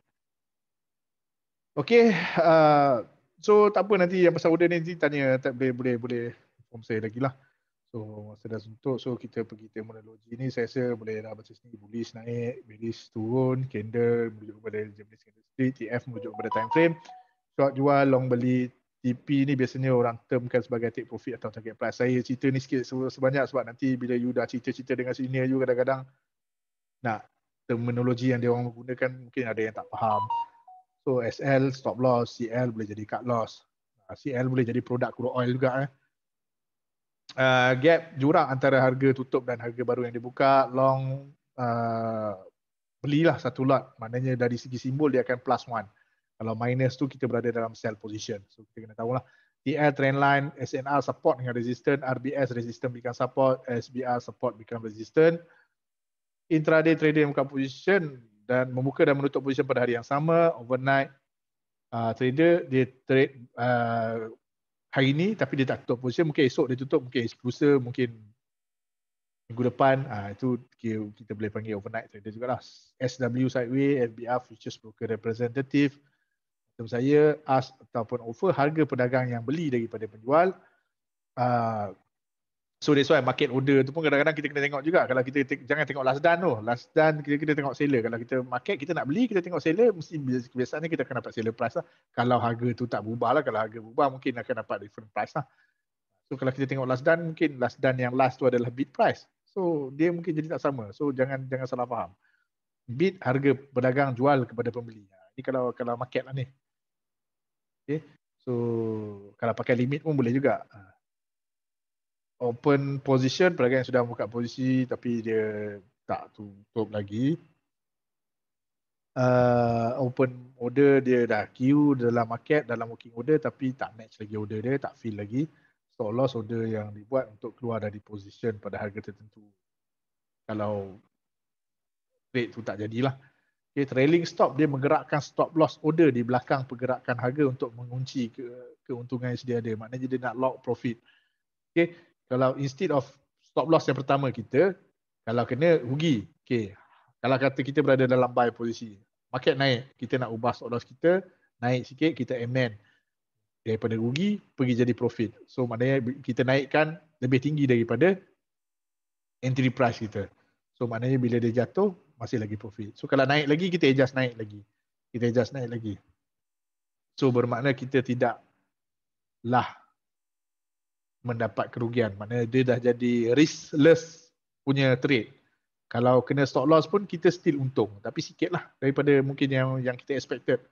Uh, so dia dah tak jadi dia, dia kena stop loss tapi dia bukan lagi kita ambil loss. Kita mungkin dia, kita kita dia kena trailing stop kita kita kita protect kita punya profit lah maksudnya trend bergerakan harga yang kuat dalam satu arah, resistor, kawasan support, faham lah kan, sideway, pergerakan tadi tu, breakout, okay, yang tadi tu dah, dah dapat break daripada ni, daripada certain uh, support dengan resistor. Fill order telah dah match lah, dah fill lah. Okay, flat, tak ada position dalam pasaran, dia kosong. Dekat posisi tu dia kosong, dia tak ada negatif satu ke negatif lima ke, plus one ke, plus two ke, dia tak ada. Okay, retracement pullback uh, harga turun sikit. Lepas tu before dia sambung balik. Uh, risk return reward uh, tadi ada dah kita tahu dah. Jangan jangan jangan jaga-jaga eh. Paling teruk risk return reward pun biarlah satu nisbah satu. Uh, tapi yang terbaik satu nisbah dua dan ke atas lah. Okay. Uh, pending order maksud kita queue standby lah dalam market. Tapi tak match lagi. Uh, okay. Itu saja rasanya daripada saya hari ini makan masa dah 12.30 so uh, you all ada lagi panjang lagi kelas lepas ni Uh, mungkin akan rehat. Sekejap. Pergi makan ke lunch apa semua. Lepas tu solat apa semua. Pukul 2 mungkin sambung dengan Cik Ikram kot. Lepas tu baru Cik Ikram pas kepada Wafi pula kot. Tak tahu kelas korang sampai petang ke malam. Uh, tak apa. Uh, so insyaAllah saya harap boleh faham. Kalau tak faham cuba nanti ada masa dengar lagi sekali lagi ataupun boleh tanya directly kepada saya. insyaAllah saya bantu uh, kalau nak tanya personal pun boleh kalau yang sesekan tak ada masalah PM dia abah nanti abah tolong lah okay so all the best uh, semua. Uh, mana tadi cik cik cik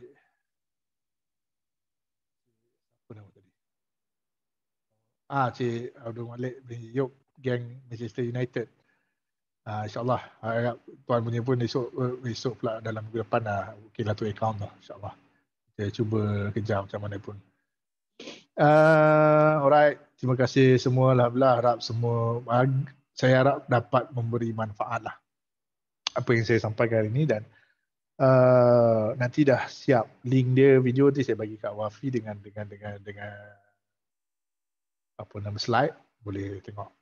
Uh, dan ada yang tak faham tak jelas ke confuse lagi ke apa ke semua boleh cuba uh, PM saya nanti kemudian uh, so tak apa sekarang ambil masa rehat dulu uh, pergi makan lunch apa semua uh, relax kejap tenang-tenang uh, solat semua siap nanti akan sambung lagi kelas yang lain lah ya. Okay. Terima kasih. Assalamualaikum warahmatullahi wabarakatuh. Kalau siapa-siapa ada soalan lagi ditanya ya. Assalamualaikum warahmatullahi wabarakatuh.